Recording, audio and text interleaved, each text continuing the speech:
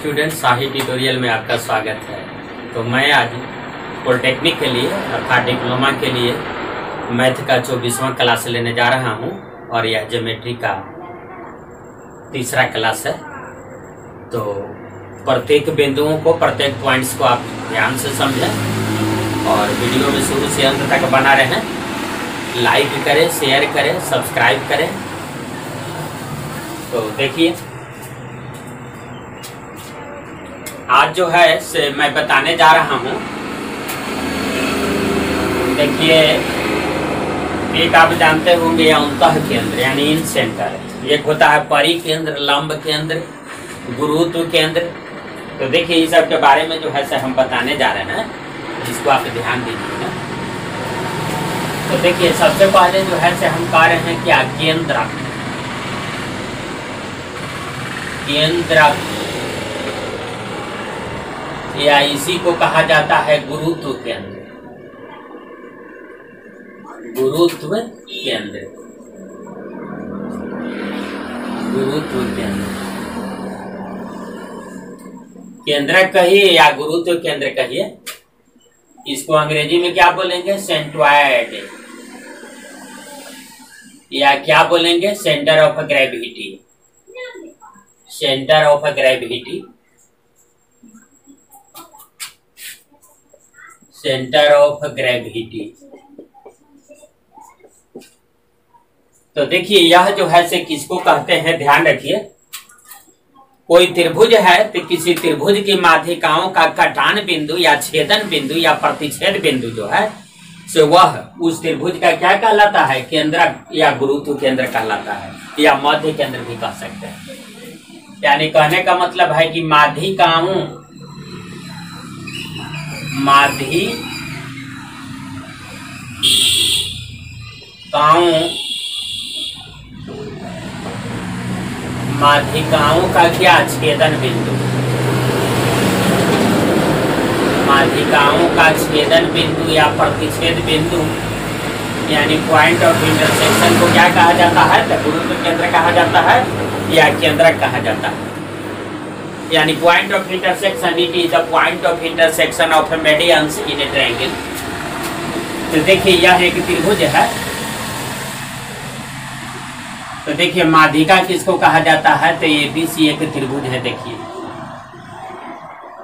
तो इस भुजा का बीसी भुजा का मध्य बिंदु मान लिया यहाँ है। मध्य बिंदु मैंने आधा आधे बिंदु, मैंने ये दोनों सेम है। तो यहाँ से इसको मिला दीजिए ये डी तो यह आपका माधिका। हो गया अब आइए। इसका मध्य बिंदु क्या होगा? इसी का मध्य बिंदु मान लिया कि यह है, माने आई आपका सेम है। तो इसको मिला दीजिए। तो यह हो गया आपका क्या? मेडियंस हो गया माधिका हो गया। बीई फिर इसके बाद मान लिया ए बी का मध्य बिंदु जो है से ए है तो इसको मिला दीजिए। तो यह जो है से आपका क्या हो गया? सी एफ़ हो गया। तो इस तरह से ए डी बी तथा सी एफ़ जो है से त्रिभुज का क्या हो गया? माध्यिका हो गया। यहाँ ई और ये दोनों क्या है? सेम है। तो माध्यिका जो है, एक बिंदु पर मिलता है। देखिए, इस बिंदु पर मिल गया तो इसी को कहा जाता है क्या? तो इसी को कहा जाता है सेंटर ऑफ़ ग्रेविटी बड़ा जी से सूचित किया जाता है। यानी केंद्र या गुरुत्व केंद्र, आपको अगर कोई कहेगा कि किसको कहते हैं तो आपको यही कहना है या किसी त्रिभुज की माध्यिकाओं का प्रतिच्छेद बिंदु है, या छेदन बिंदु है, या कटान बिंदु यानी it is point of intersection of medians in a triangle यानी यह किसी त्रिभुज में मेडियंस का क्या है? यह मेडियंस का आपको जो है से कटान बिंदु है, छेदन बिंदु है, प्रतिच्छेद बिंदु है।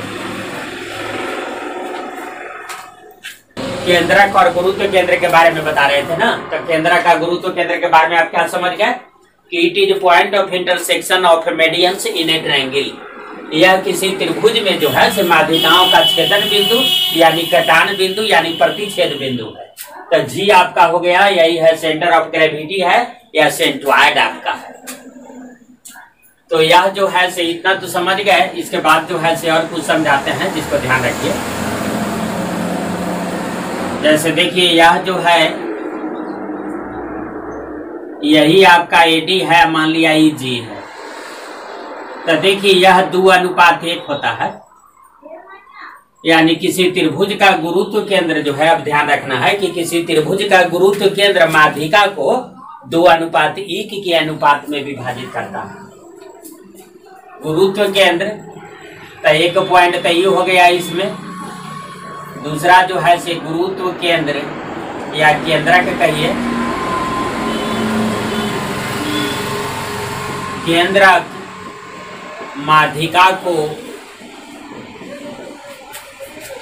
केंद्रक माध्यिका को दो अनुपात एक दो अनुपात एक के अनुपात में अनुपात में विभाजित करता है। विभाजित करता है। तो चलिए केंद्रक जो है से माध्यिका को क्या करता है? तो दो अनुपात तीन के अनुपात में विभाजित करता है। यानी कहने का मतलब है कि ए जी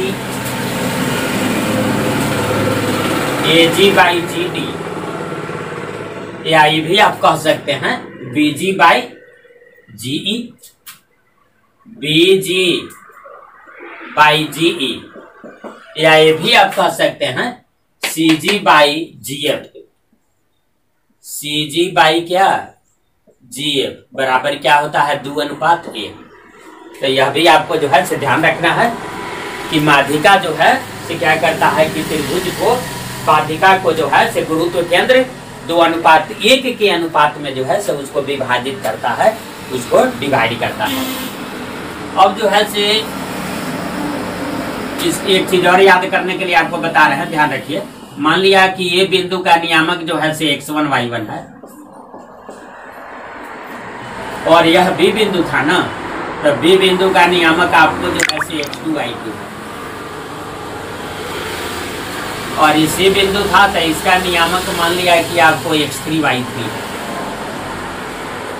x three y three तो अगर गुरुत्व केंद्र या जी अर्थात जी बिंदु का नियामक जो है यानी गुरुत्व केंद्र का नियामक अगर निकालने के लिए कोई कहेगा और त्रिभुज के तीनों शीर्ष, यानी तीनों वर्टेक्स का आपको जो है, से कोऑर्डिनेट दिए हुए है आ इसके बाद सेंट्रॉइड और सेंटर ऑफ़ ग्रेविटी का कोऑर्डिनेट आपको अगर जानना है तो देखिए आपके पास एक जो है से फार्मूला रख रहे हैं, जिसे आप जो है से हमेशा याद रखें।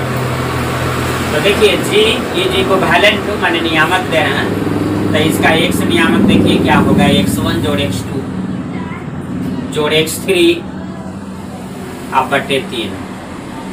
आ इसका y नियामक आपको क्या होगा y1 वन जोड़ वाई टू और जोड़ वाई थ्री बटे क्या, तीन। तो इस तरह से होता है इसको भी रखें कि तीनों शीर्ष का अगर नियामक दे देगा, त्रिभुज के तीनों शीर्ष का नियामक दे देगा तो उसके गुरुत्व केंद्र यानी सेंटर ऑफ़ ग्रेविटी का नियामक जो है, से हम आसानी से निकाल सकते हैं। इसे भी ध्यान रखना है। तो देखिए, इतना बात को जो है से ध्यान आपको रखना है। अब इसके बाद जो है से देखिए, दूसरा पॉइंट पर आते हैं हम। आपको क्या अंत केंद्र? अंत केंद्र? अंत केंद्र को कहा जाता है क्या? इन सेंटर अंत केंद्र का मतलब आपसे समझिएगा इन सेंटर तो इन सेंटर किसको कहते हैं? अंत केंद्र किसको कहते हैं? तो इसको आपको समझना पड़ेगा। तो देखिए अंत केंद्र के बारे में जो हम बता रहे हैं, इसको आप ध्यान से समझिए। देखिए एबीसी एक त्रिभुज है। एबीसी एक त्रिभुज है आपका। तो देखिए, एक कोण क्या है? ए है। आ एक कोण बी है। आ एक कोण क्या है? सी है।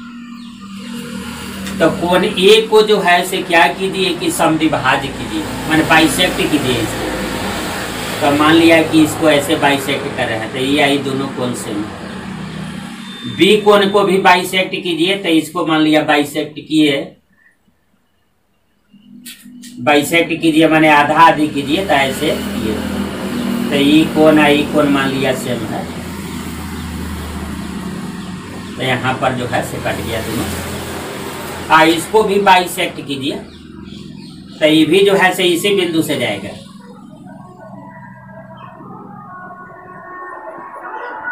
तो देखिए क्या है कि जो है ये कोना ये कोना आपका क्या है? दोनों बराबर है। तो देखिए, इस बिंदु पर कट गया। तो इस बिंदु पर अगर आपका कट गया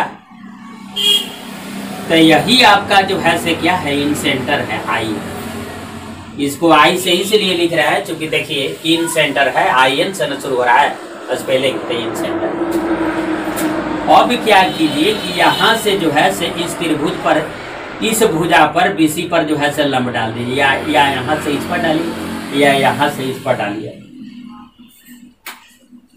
तो मान लिया कि यहाँ से जो है से इस पर हम लंब डाल दिए।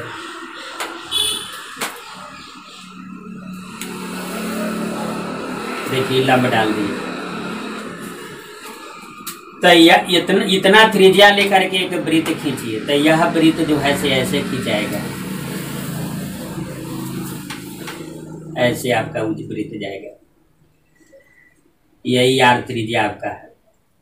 तो इसी को क्या कहते हैं? इसी को आपको इन सेंटर कहा जाता है, अंत केंद्र कहा जाता है। तो इसको हम कैसे कहेंगे? कि यह प्रतिच्छेद बिंदु किसका किसका है? किसी त्रिभुज के तीनों कोनों के समद्विभाजक किसी त्रिभुज के तीनों कोनों के अर्धकों का कटान बिंदु। त्रिभुज के कोनों, त्रिभुज के कोनों के अर्धकों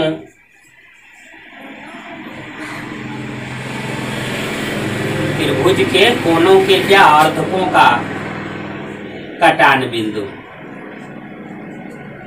अर्धकों का कटान बिंदु क्या कहलाता है? तो यह जो है से इन सेंटर कहलाता है।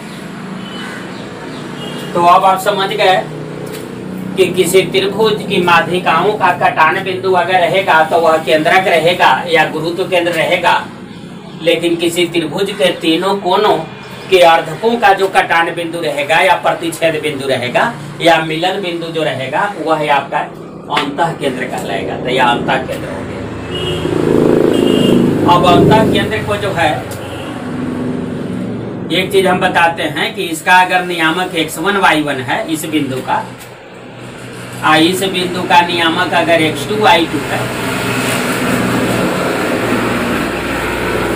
आ, इस बिंदु का नियामक मान लिया कि अगर एक्स थ्री वाई थ्री है तो अंत केंद्र का नियामक हम निकाल सकते हैं, इसके लिए जो सूत्र दे रहे हैं, उसको ध्यान रखिएगा। तो देखिए बी, सी एक त्रिभुज है तो ये है बड़ा ए। तो इसके सामने के भुजा को कहा जाता है छोटा ए। इसका सामने का भुजा ऐसी है, छोटा बी। सी कोण के सामने के भुजा है तो इसको छोटा सी से लिखते हैं। तो ईसाई बिंदु का अगर नियामक हमको निकालना है आई बिंदु का नियामक अगर निकालना है तो देखिए हम ऐसे निकालते हैं। A x one plus b x two plus c x three बटा ए जोड़ बी जोड़ सी देखिए इस बिंदु का, यानी अंत केंद्र का जो है, सो वाई नियामक देखिए निकाल रहे हैं। A y one plus b y two plus c y three बटा ए जोड़ बी जोड़ सी। तो यह हो गया आपका अंत केंद्र का नियमक ए बी सी क्या है? आप समझ लीजिए यहाँ साइड में। ए, बी या सी आपका क्या है? तो ए का मतलब क्या है? ए का मतलब आपका बी सी हुआ ना? तो इसको तो आप कैसे निकालिएगा? यह डिस्टेंस फार्मूला से निकाल लीजिएगा।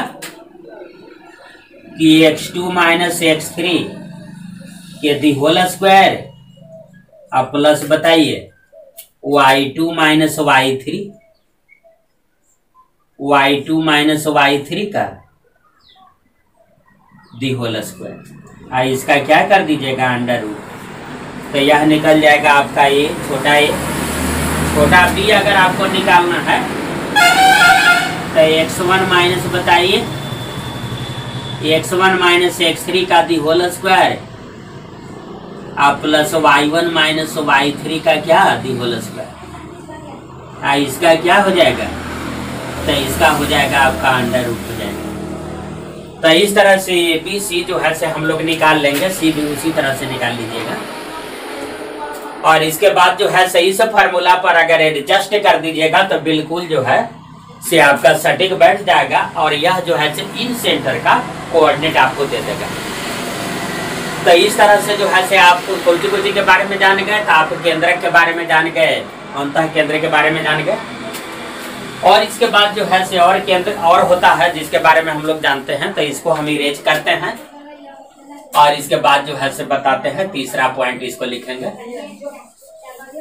तो आप प्रत्येक बिंदु को जो है से ध्यान से देखिएगा, ध्यान रखिएगा कि कैसे हम निकाल रहे हैं, इसको आपको भूलना नहीं है। तो देखिए, अब हम लंब केंद्र बता रहे हैं, फिर परी केंद्र बता रहे हैं तो इसको जो है से ध्यान रखिए।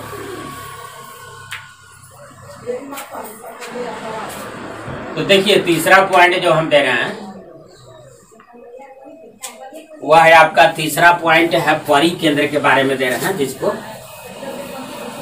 ध्यान रखिए।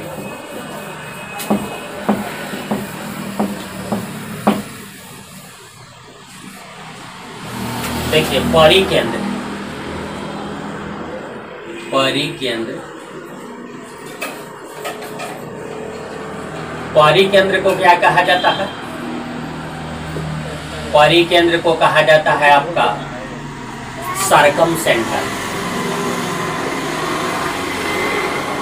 सरकम सेंटर कहा जाता है, इसको जरा समझने का प्रयास कीजिए। देखिए, यह एक त्रिभुज है। तो यहाँ से इस पर लंब डालिए।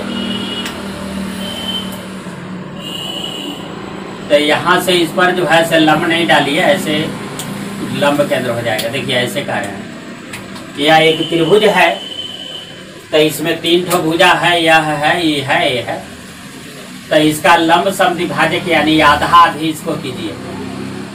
तो मान लिया कि आधा कर रहे हैं तो यहाँ आ रहा है यही क्या है दोनों से तो यहाँ पर ऐसे लंब खींच दीजिए, इस पर।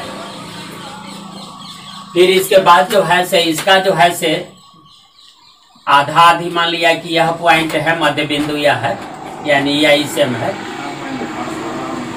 तो एक यहाँ पर जो है से लंब डाली है तो देखिए, यहाँ पर जो है से हम लम डाल रहे हैं।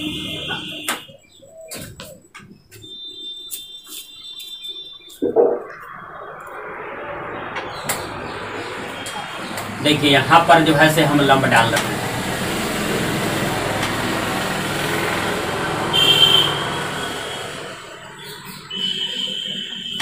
देखिए भुजा दोनों जो है सेम है, ध्यान रखिएगा कि भुजा जो है से आपका क्या है भुजा सेम है। तो क्या कि किसी त्रिभुज का जो तीनों भुजा था तो तीनों भुजा का लंब समद्विभाजक यानी परपेंडिकुलर बाइसेक्टर खींचे। तो परपेंडिकुलर बाइसेक्टर अगर खींच दिए यानी तीनों भुजा का जो है मध्य बिंदु है, उस पर एक एक जो है लंब खींच दिए यह लंब जो है से यहाँ मान लिया कि मिल गया। तो यही आपका जो है से सरकम सेंटर है। यही आपका क्या है? सी है सरकम सेंटर है। यानी कह सकते हैं कि it is the point of intersection of perpendicular bisectors it is point of intersection of perpendicular bisector यह जो है से लंब सब का क्या है? कटान बिंदु है यानी छेदन बिंदु? किसी त्रिभुज की तीनों भुजाओं के लंब विभाजक का कटान बिंदु या छेदन बिंदु या प्रतिच्छेद बिंदु। तीनों भुजाओं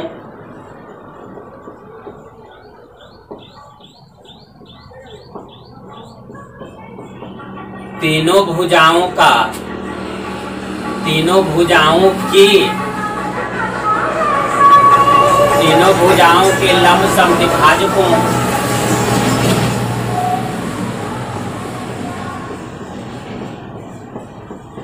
तीनों भुजाओं के लंब समद्विभाजकों का छेदन बिंदु। लंब समद्विभाजकों का छेदन बिंदु। ध्यान रखिए, किसी त्रिभुज के तीनों भुजाओं के लंब समद्विभाजकों यानी कटान बिंदु लंब समद्विभाजकों यानी परपेंडिकुलर बाइसेक्टर का कटान बिंदु या छेदन बिंदु, या मिला, मिलन बिंदु कहिए पॉइंट ऑफ़ इंटरसेक्शन को क्या कहा जाता है? तो यह सरकम सेंटर कहा जाता है। परी केंद्र तो देखिए परी का मतलब होता है बाहर। तो परी केंद्र में क्या है कि त्रिभुज, एक त्रिभुज खींच जाएगा, एक एक जो है सर्किल खिंचा जाएगा, और वह सर्किल जो है तीनों शीर्ष से होकर जाएगा। तो देखिए, इसमें क्या देखा जाएगा कि यहाँ से मान लिया कि इसको मिला दीजिए। आ यहाँ से इसको मिला दीजिए, इसे मिला दीजिए। तो यह जो है से सब सेम आएगा, यहाँ से भी सेम आएगा। आ, इसको मान करके, इतना त्रिज्या मान करके एक सर्किल अगर खींच दिया जाए तो एक सर्किल ऐसे खींच जाएगा।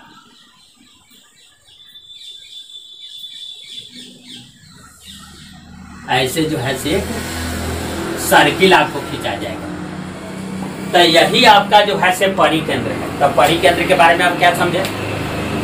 या किसी त्रिभुज की तीनों भुजाओं के लंब समद्विभाजकों का प्रतिच्छेद बिंदु होता है या कटान बिंदु होता है। अब आइए चौथा आपको क्या बताने जा रहे हैं? परिकेंद्र के बाद जो है से अब आपको लंब केंद्र बता रहे हैं। लंब केंद्र। देखिए, लंब केंद्र को कहा जाता है orthocentre. Orthocentre. Orthocentre के बारे में समझिए। तो मान लिया कि यह जो है से कोई त्रिभुज है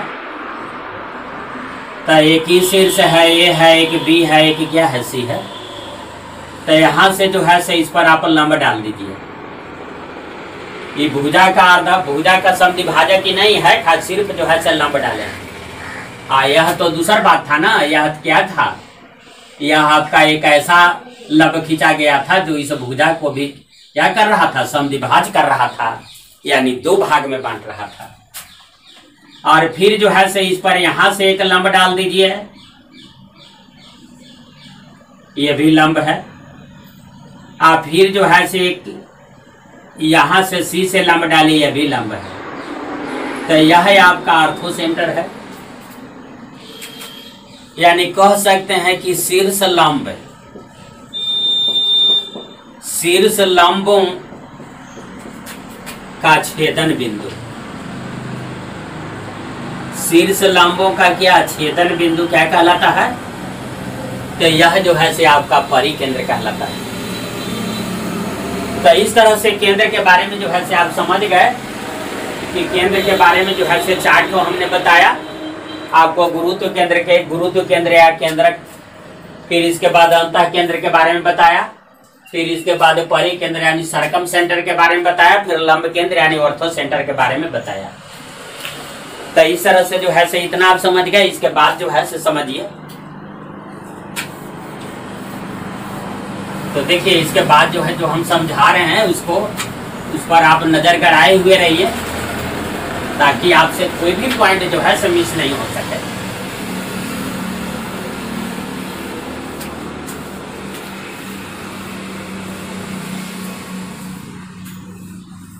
देखिए, अब हम बताने जा रहे हैं तो कुछ पॉइंट्स जो है, उस पॉइंट को जो है से आप नोट करिएगा। देखिए पॉइंट्स है थ्योरम है, आयुष थ्योरम के पॉइंट्स को आप ध्यान रखिएगा। एकांतर औधा कोण बराबर होते हैं। देखिए, एकांतर औधा कोण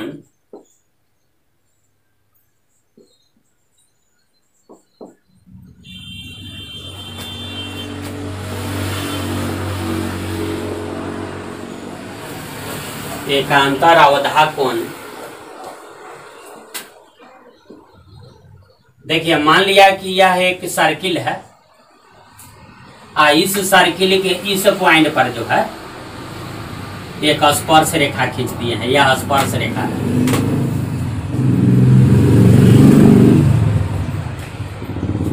फिर पॉइंट ऑफ़ कांटेक्ट जो है, यानी स्पर्श बिंदु जो है तो इस स्पर्श बिंदु पर एक जीवा एक जीवा जो है से खींच रहे हैं तो मान लिया कि यह जो है से जीवा है।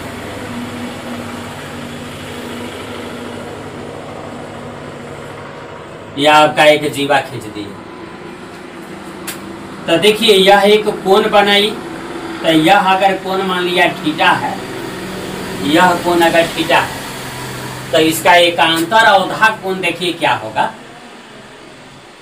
तो क्या कीजिए कि सर्किल जो है तो इस सर्किल के इतना साइड को छोड़ दीजिए।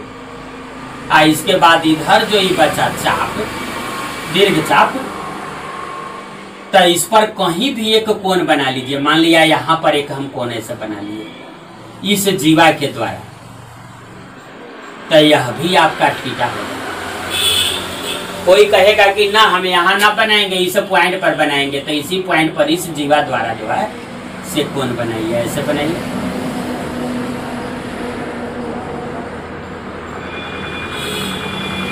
तो यह भी कोण जो, ये कोण जो है, से थीटा होगा, अगर ये थीटा है तो।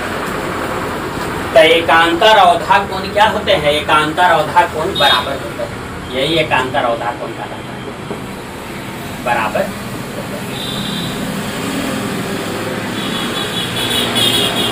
देखिए, एक वर्ड बना रहे हैं। मान लिया कि ऐसे जो है से यहाँ पर जो है पॉइंट ऑफ़ इंटरसेक्शन है, यानी यहाँ स्पर्श रेखा खींचे हैं। और इस तरह से ही जीवा खींचे हैं।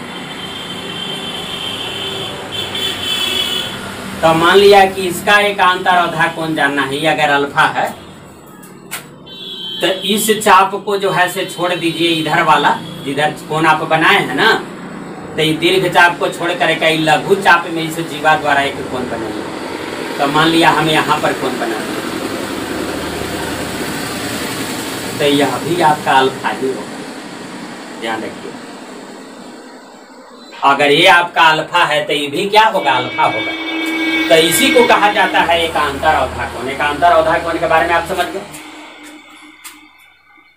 चलिए, इसके बाद जो है से अब अब आइए, दूसरा जो है से बहुत प्रकार का थ्योरम जो दे रहे हैं, उसको जो है से ध्यान समझिए।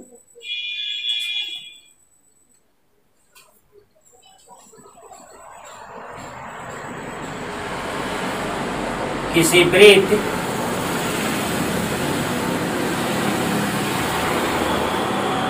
किसी वृत्त के केंद्र से, किसी वृत्त के केंद्र से जीवा पर डाला गया लंब। डाला गया। किसी वृत्त के केंद्र से जीवा पर डाला गया लंब। जीवा को समविभाजित करता है। जीवा को क्या करता है? समद्विभाजित।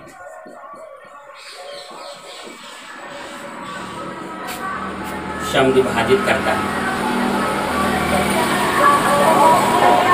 चलिए इसको समझिए मान लिया कि यह एक जो है से वृत्त है। आ, यह जो है से वृत्त की एक जीवा है। आ, यह वृत्त का केंद्र है। तो इस वृत्त के केंद्र से जीवा पर हमने जो है से लंब डाल दिया। तो जीवा पर अगर लंब डाल दिया, ये मान लिया वो है आई ए बी है। आ, यह जो है से आपका सी है, इस पर लंब डाल दिया। तो यह जो है से जीवा को समविभाजित करता है, माने दोनों बराबर होगा। ए सी और बी सी जो है से दोनों बराबर रहेगा। यानी कहने का मतलब है, या इस पॉइंट को ऐसे कह सकते हैं कि यदि यदि ओसी लंब ए बी यानी ओसी अगर ए बी पर लंब है तो ए सी बराबर बी सी यानी ए सी और बी सी क्या आएगा? दोनों बराबर आएगा। या उल्टा कह सकते हैं, इसको उल्टा क्या कह सकते हैं? कि किसी जीव, किसी जीवा, वृत्त की किसी जीवा के मध्य बिंदु से अगर केंद्र को मिला दिया जाए तो वह रेखा जो है, केंद्र से जो जीवा के मध्य बिंदु को जो रेखा मिलाया, वह जीवा पर लंब होती है। उल्टा कह सकते हैं। तो इस थ्योरम को आप समझ गए कि किसी वृत्त के केंद्र से जीवा पर डाला गया लंब जीवा को समविभाजित करता है। या कहिए कि किसी वृत्त के केंद्र और जीवा के मध्य बिंदु से खींची गई रेखा जीवा पर लंब होती है। ये बात कह सकते हैं? या इसी चीज़ को जो है विलोम में क्या कह सकते हैं? विलोम में अगर कहिएगा विलोम का मतलब अगर उल्टा में इसी बात को कहिएगा तो ऐसे कहना पड़ेगा कि यदि यदि ए सी बराबर बी सी यानी ए सी अगर बी सी के बराबर है तो ओ सी लंब क्या? ओ सी लंब ए बी यानी ओ सी जो है सी ए बी पर क्या होगा? लंब होगा, ऐसे कह सकते हैं। तो इस तरह से जो है से इसके बारे में समझ गए। अब इसके बाद जो है से अगला पॉइंट हम दे रहे हैं, जिसको सब प्रत्येक पॉइंट को आप ध्यान रखिएगा। प्रत्येक आपको जो थ्योरम को जो जो सीधे करते थे, प्रमेय को साधे को, यहाँ पर हम जो बता रहे हैं, यहाँ पर जो है से डायरेक्ट उस को याद रखना। है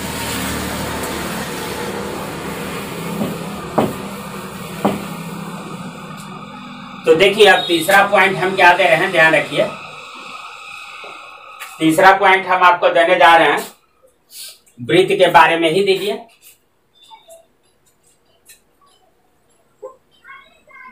वृत्त की समान जीवाएँ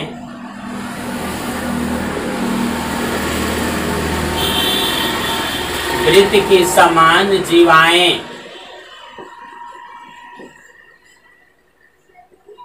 वृत्त की समान जीवाएँ केंद्र से समदूरस्थ होती है। केंद्र से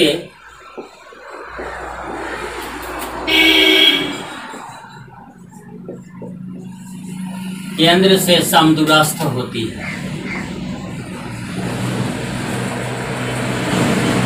देखिए, अगर वृत्त की जीवा, दो जीवा अगर वृत्त की समान है तो वह केंद्र से समान दूरी पर होती है। देखिए, इसको समझिए। मान लिया कि यह वृत्त है एक वृत्त की यह जीवा है ये भी।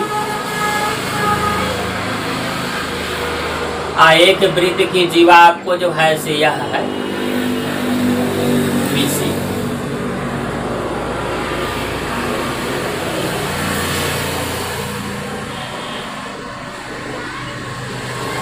मान लिया कि यह यह एक जीवा है क्या? ए भी है? और यह सी डी कह रहा है कि यदि ए बी बराबर सी डी इसमें आपको कहा जा रहा है कि यदि ए बी बराबर सी डी यानी वृत्त है, एक ही वृत्त है।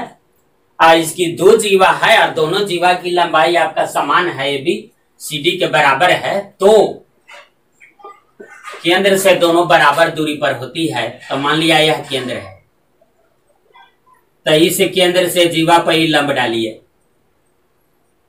आई से केंद्र से ही जीवा पर जो है से लंब डालिए, दोनों जीवा पर। तो मान लिया कि यह दूरी जो है यह वो है? आ यह है आपका क्या है? पी क्यू है। पी या क्यू बिंदु जो है पर लंब डाले हैं। तो ओ पी बराबर क्या ओ क्यू माने वो पी ओ क्यू के क्या आएगा? बराबर आएगा, ऐसा होता है। तो फिर इसका उल्टा भी कह सकते हैं। इसका विलोम अगर कहिएगा तो विलोम में आप क्या कहिएगा बताइए? यदि ओ पी बराबर ओ क्यू यानी वृत्त की दो जीवाएँ केंद्र से बराबर दूरी पर है तो दोनों समान लंबाई की होती है। यानी ये भी बराबर सी डी ऐसा कह सकते हैं। इसका विलोम में। चलिए चौथा पॉइंट पर आइए। चौथा पॉइंट जो है से जो बता रहे हैं, उसको जो है, से ध्यान रखिए।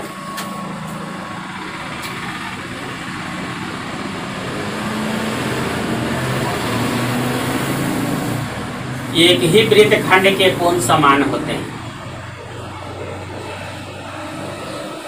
एक ही वृत्तखंड के कोण। एक ही वृत्तखंड के कोण समान होते हैं। देखिए, ऐसा है। मान लिया कि यह एक वृत्त है। तो इसको हमने जो है से दो खंड में तोड़ दिया इसको। एक ही बड़ा खंड है, एक छोटा खंड है, एक रोटी है, इसको दो पार्ट में तोड़ दिया। तो एक छोटा पार्ट है, एक बड़ा पार्ट है तो एक ही वृत्त खंड के कौन समान होते हैं? तो मान लिया कि इस खंड में हम कौन बना रहे हैं? परिधि पर कौन बनना चाहिए? तो चलिए इस जीवा द्वारा जो है से इस खंड में कौन बनाइए? तो मान लिया यह कौन हमने बना दिया। तो यह कौन अगर ठीटा है इसी खंड में मान लिया, एक और कौन बना दिया, ऐसा बना दिया। तो यह भी आपका ठीटा होगा अब कोई कहेगा कि नहीं, ई खंड में हम कौन बनाएँगे तो चलिए इसी जीवा द्वारा इस खंड में कौन बनेंगे तो मान लिया, यह कौन आपका अल्फ़ा है, यह कौन इसी खंड में कोई और कौन बना दिया, इसी जीवा द्वारा ऐसे बना दिया। तो यह भी कौन अल्फ़ा हो होगा ऐसा है। तो हमने क्या कहा कि एक ही वृत्त खंड के कौन समान होते हैं? तो देखिए, एक ही वृत्त खंड का कौन समान है? इसके बाद जो है से पाँच नंबर पॉइंट पर आइए।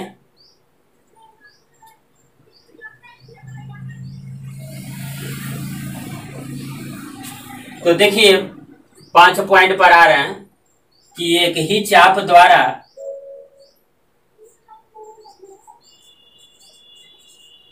एक ही चाप द्वारा केंद्र पर बना कोण? केंद्र पर बना कोण?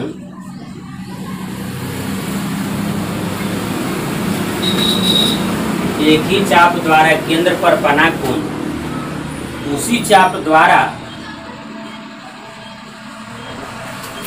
उसी चाप द्वारा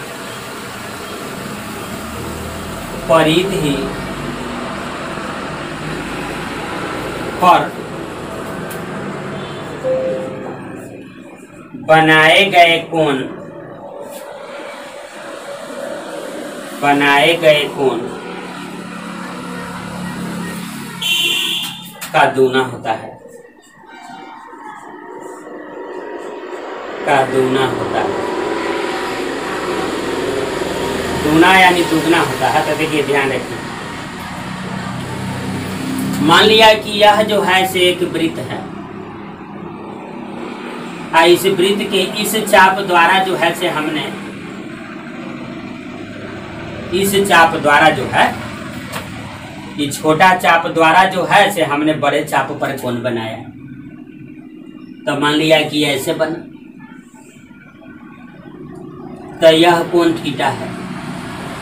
आ, इसी चाप द्वारा यह जो चाप है, इसी चाप द्वारा जो है मान लिया कि वृत्त का केंद्र है तो हमने इस कोण को बना दिया। तो यह है आपका टू थीटा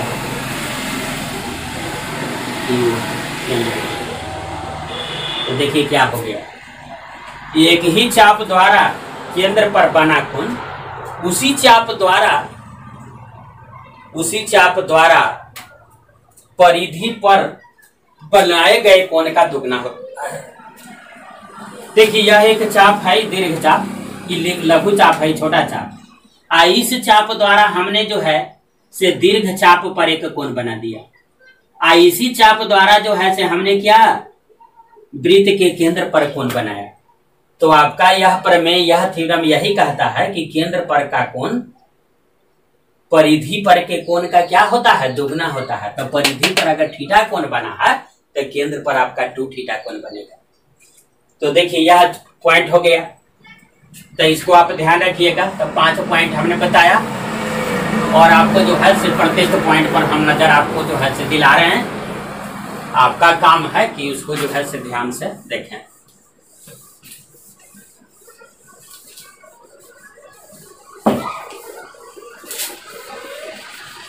देखिए, छठा जो है, से पॉइंट हम देने जा रहे हैं। क्या पॉइंट देते हैं, उसको आप बने हुए रहिए, बिल्कुल डटे हुए रहिए।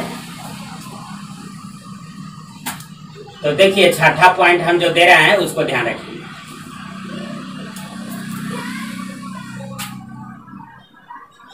देखिए, छठा पॉइंट हम दे रहे हैं कि दीर्घ चाप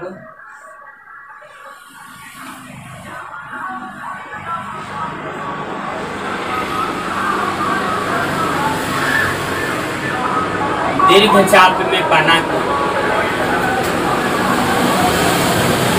दीर्घ चाप में बना को क्या होता है? तो जो दीर्घ चाप में बनेगा कौन? वह अधिक कोण होता है? वह न्यून है? दीर्घ चाप में बना कौन क्या? न्यून कौन? यानी एक्यूट एंगल होगा। Acute angle. और लघु चाप।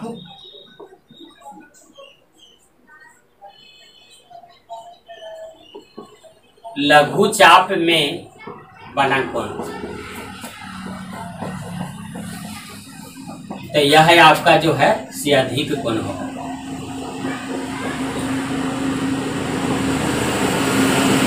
अधिक कोण आएगा और फिर उसे मिलाएगा।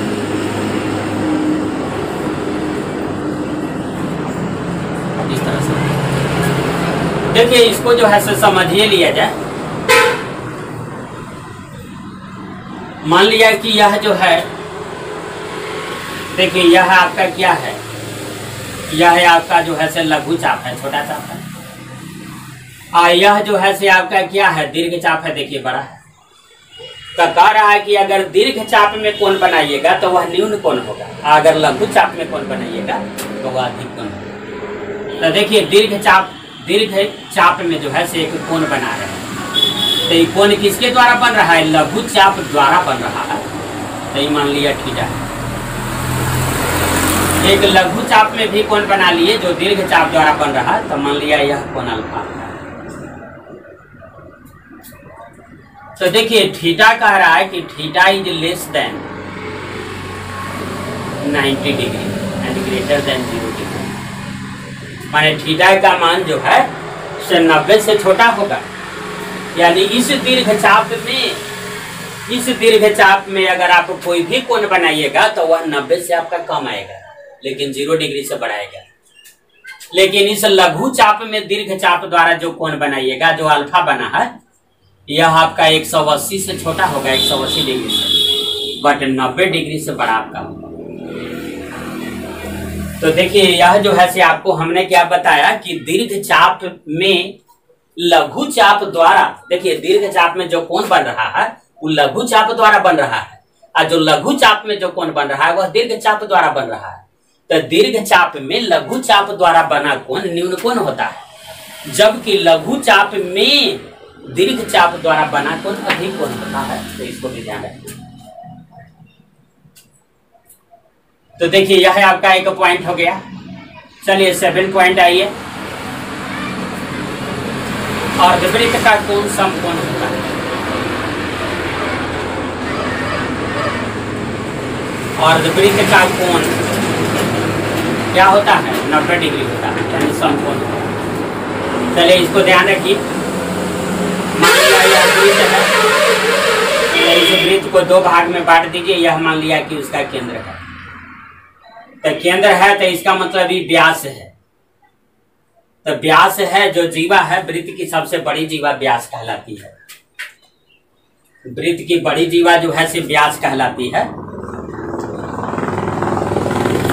वृत्त की बड़ी जीवा बड़ी जीवा को ही क्या कहा जाता है? व्यास कहा जाता है। डायमीटर कहा जाता है इसी को। तो क्लियर है कि डायमीटर जो है से वृत्त को दो बराबर भागों में बांट देगा। तो कह रहा है कि दीर्घ अर्धवृत्त का कोण समकोण होता है। तो देखिए, ये जो है, इस जीवा द्वारा कोण बनाइए। ये वृत्त आधा आधा हो गया है तो इस जीवा द्वारा कोण बनाइए। तो मान लिया कि जीवा द्वारा जो है, से आपने इस कोण को बना दिया। तो यह कोण आपका नब्बे डिग्री का होगा। चूँकि अर्धवृत्त में यह कोण बना है तो अर्धवृत्त का बना, अर्धवृत्त का कोण क्या होता है? समकोण होता है। कोई कहेगा कि इसमें हम बनाएँगे तो इसमें भी बनाइएगा तो नब्बे डिग्री आएगा, चूँकि होता आधा वृत्त है। तो यह जो है से नब्बे डिग्री आ गया। तो इस तरह से आप सीख गए क्या कि अर्धवृत्त का कोण क्या होता है? अर्धवृत्त का कोण समकोण होता है। अब जो है से आगे जो है से हम लोग सीखते हैं तो देखिए, सातों पॉइंट हमने सीख लिया। चलिए, आठवां पॉइंट के बारे में आते हैं।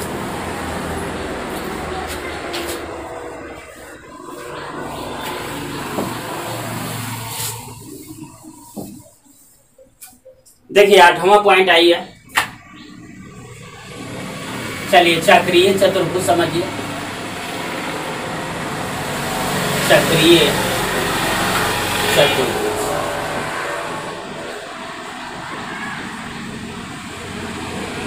चक्रीय चतुर्भुज का मतलब हो गया कौन साइक्लिक क्वाड्रिलेटरल चक्रीय चतुर्भुज का मतलब क्या? कौन साइक्लिक क्वाड्रिलेटरल तो देखिए, चक्रीय चतुर्भुज जो है से इसको कहते हैं। कोई चतुर्भुज बनाइए, जो किसी वृत्त के अंदर है। वृत्त के जो है, वृत्त के परिधि पर चार गो पॉइंट लीजिए। तो वृत्त के परिधि पर चार पॉइंट लेकर के इन चारों पॉइंट द्वारा जो है से एक चतुर्भुज बना दीजिए। तो देखिए, इसके परिधि पर चार पॉइंट लिया, चारों पॉइंट द्वारा जो है से क्या एक चतुर्भुज हम बना दिए। तो इसी को कहा जाता है चक्रीय चतुर्भुज। तो इसमें क्या थ्योरम आपका कहता है कि चक्रीय चतुर्भुज के सम्मुख कोण संपूरक होते हैं? तो संपूरक के बारे में हमने आपको बताया था क्या? कि वे तो कोण जिसका जोड़ नब्बे डिग्री, एक सौ अस्सी डिग्री हो, वे एक दूसरे के क्या सप्लीमेंट्री एंगल कहलाते हैं, यानी संपूरक कोण कहलाते हैं? तो देखिए, इसका संपूरक ही हो जाएगा।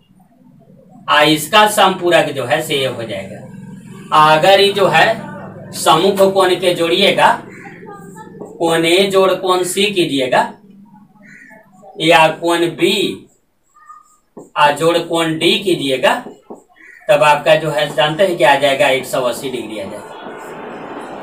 तो चक्रीय चतुर्भुज के समुख कोण क्या होते हैं? तो समुख कोण जो है, से एक सौ अस्सी डिग्री का तो इस तरह से इसके बारे में समझ गए? अब इसके बाद जो है, से इसी में एक पॉइंट हम आपको दे रहे हैं कि चक्रीय समानांतर चतुर्भुज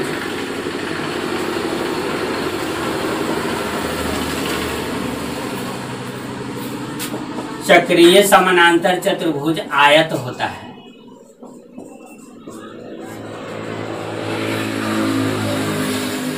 चक्रीय समानांतर चतुर्भुज जो है से क्या होता है? आयत होता है।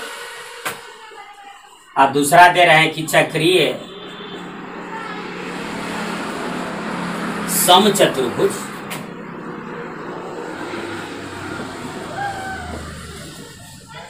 चक्रीय सम चतुर्भुज वर्ग होता है।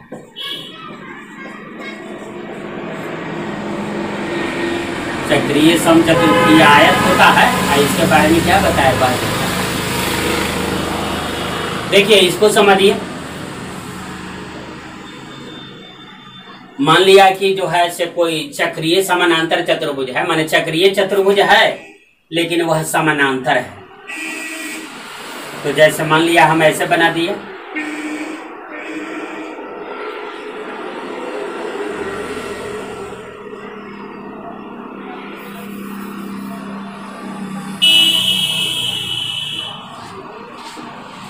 देखिए, यह आपका समानांतर चतुर्भुज है।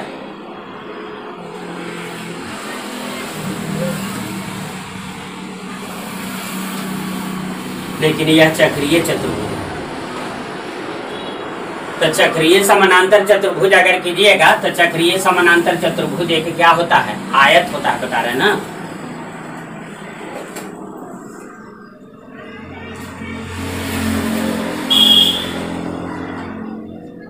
देखिए ऐसे है। तो ई आई आपका बराबर आ जाएगा ई आई बराबर हो जाएगा। तो क्या बन गया? ये आयत बन गया। तो चक्रीय समानांतर चतुर्भुज जो है, से एक आयत होता है। और यही चक्रीय सम चतुर्भुज कहिएगा तो सम चतुर्भुज के सब भुजा क्या होता है? देखिए, सम मतलब बराबर। तो यही चीज़ अगर बराबर आ जाएगा, माने सब भुज में बराबर हो जाएगा तो क्लियर है कि किसी आयत की सब भुजा अगर बराबर आ जाए तो क्लियर है कि वह क्या आ जाएगा? वर्ग आ जाएगा। तो यह जो है से इसमें क्या है? सब सेम आपका है। तो यह बन गया वर्ग। आई क्या है? आयत है। तो आप ध्यान रखिएगा कि समानांतर अगर चक्रीय समानांतर चतुर्भुज है तो चक्रीय समानांतर चतुर्भुज एक आयत होता है। और चक्रीय सम चतुर्भुज अगर रहेगा तो सम चतुर्भुज एक क्या होता है? वर्ग होता है। तो देखिए, आयत जो है, आयत वर्ग के बारे में पता ना, आप समझते हैं कि क्या? आयत वर्ग के बारे में भी जो है से कुछ समझा रहे हैं जिसको ध्यान रखिएगा। तो देखिए, इसको जो है से हम मिटा रहे हैं। और इसके बाद जो है से आयत वर्ग के बारे में थोड़ा सा जानकारी आपको दे रहे हैं कि आयत वर्ग के बारे में आप क्या समझते हैं।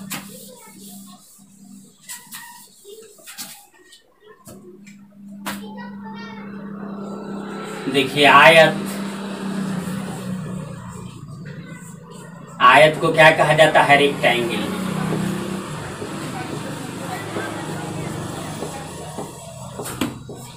देखिए, आयत के बारे में समझिए। आयत है।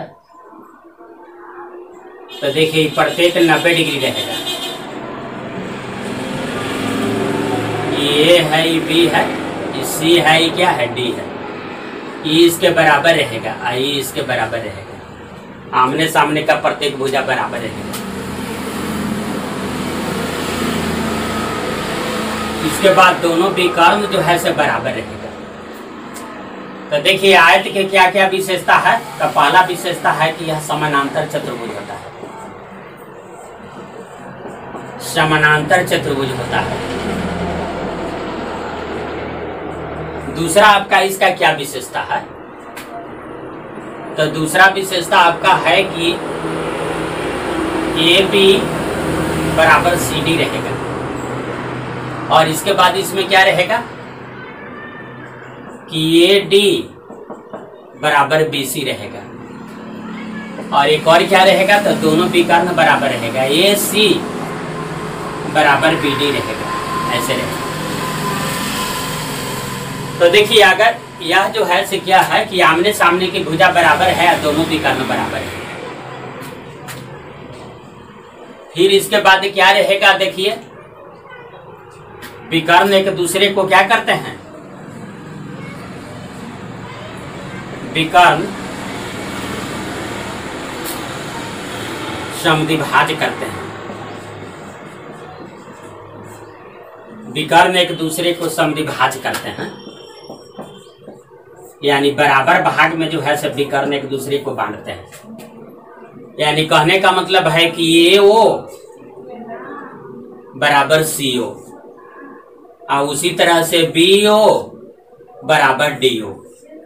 ऐसा होगा। यानी विकर्ण एक दूसरे को समद्विभाज करेगा। फिर इसके बाद जो है, से और क्या है? चौथा पॉइंट आपका दे रहे हैं क्या? इसी में दूसरा पॉइंट में ही उसको एक और पॉइंट हम दे दे रहे हैं कि कौन ए बराबर कौन बी बराबर कौन सी बराबर कौन डी बराबर नब्बे डिग्री। तो इस तरह से जो है, से प्रत्येक कोण जो है, से नब्बे डिग्री का होता है। तो आयत के बारे में आप क्या समझे? तो आयत एक समानांतर चतुर्भुज है। आयत के आमने सामने की भुजाएँ बराबर होती हैं। आयत के दोनों विकल्प परस्पर बराबर होते हैं। आयत के प्रत्येक कोण जो है, से नब्बे डिग्री का होता है। तो इस तरह से आयत के बारे में जो है, से आपने समझ लिया। अब जो है, से वर्ग के बारे में समझिए। तो देखिए, यहाँ हम आपको लिख दे रहे हैं वर्ग। वर्ग का मतलब क्या होता है? स्क्वायर। देखिए तो इस पॉइंट को जो है, से आप बारीकी से इस पॉइंट को समझिएगा। देखिए, वर्ग के बारे में क्यों देखिए।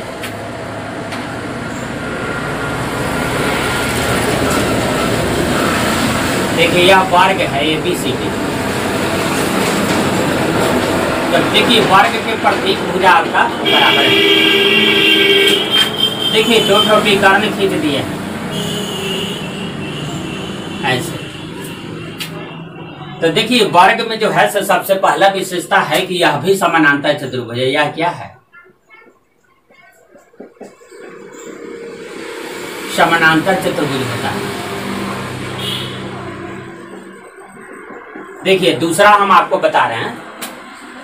कि ए बी बराबर बी सी बराबर सी डी बराबर ए डी यानी सब भुजा बराबर होगा।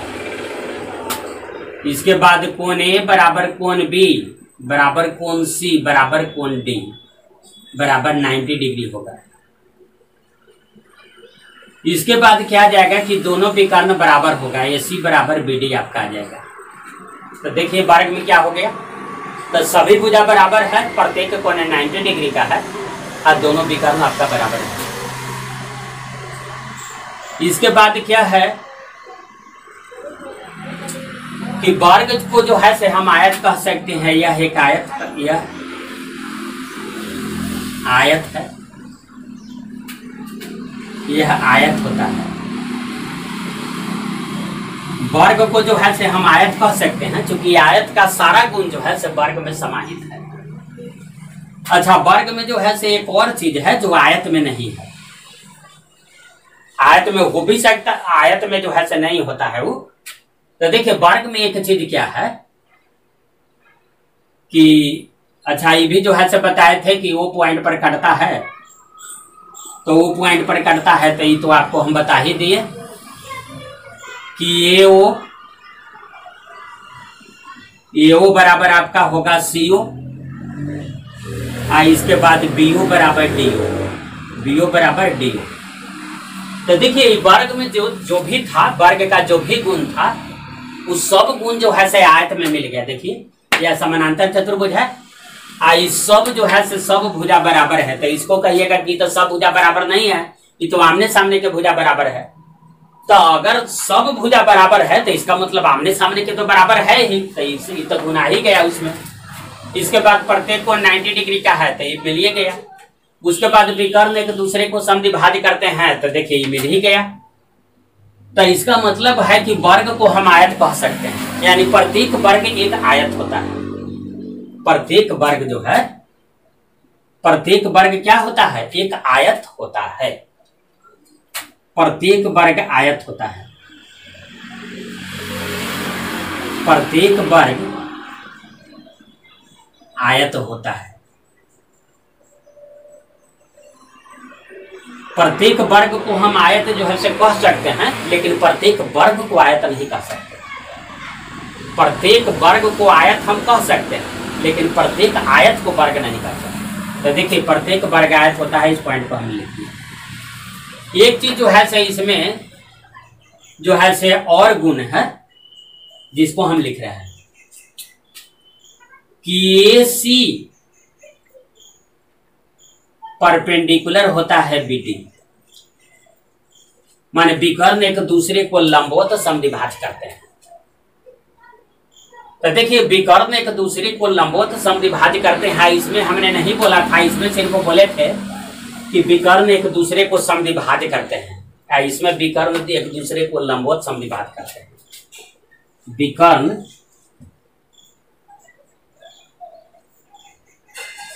लंबवत समद्विभाज करते हैं। लंबवत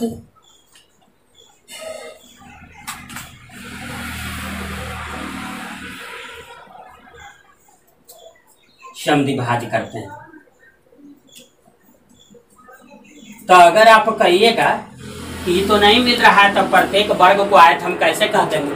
तो देखिए, विकर्ण एक दूसरे को समद्विभाज करते हैं पॉइंट मिल गया कि नहीं? कि विकर्ण एक दूसरे को समद्विभाज करते हैं। लेकिन वर्ग वर्ग है, या आयत है तो कुछ तो होगा ना, जो वर्ग में होगा और वह आयत में नहीं होगा। तो देखिए, यह विकर्ण एक दूसरे को लंबोत समद्विभाज करते हैं वर्ग में है, लेकिन आयत में नहीं है। तो देखिए आयत का सारा गुण वर्ग में मिल रहा है, इसलिए वर्ग को आयत कहना जो है से कोई अतिशयोक्ति नहीं है, बल्कि यह बात जो है से सही है। तो वर्ग आयत के बारे में समझ गए, अब सोम चतुर्भुज के बारे में जो है सिर्फ़ थोड़ा सा आपको समझा देखिए, यहाँ पर हम लिख रहे हैं आपको सोम चतुर्भुज।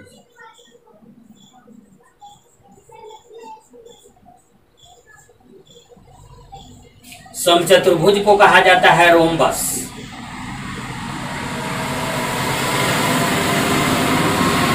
तो देखिए, रोमबस में हम कह रहे हैं आपको क्या? कि वर्ग वर्ग होता है। वर्ग होता है नहीं कह रहे हैं। रोमबस में हम आपको कह रहे हैं कि सम चतुर्भुज है तो यानी सब भुजा बराबर। देखिए, सम का मतलब क्या है? तो सम का मतलब है कि बराबर।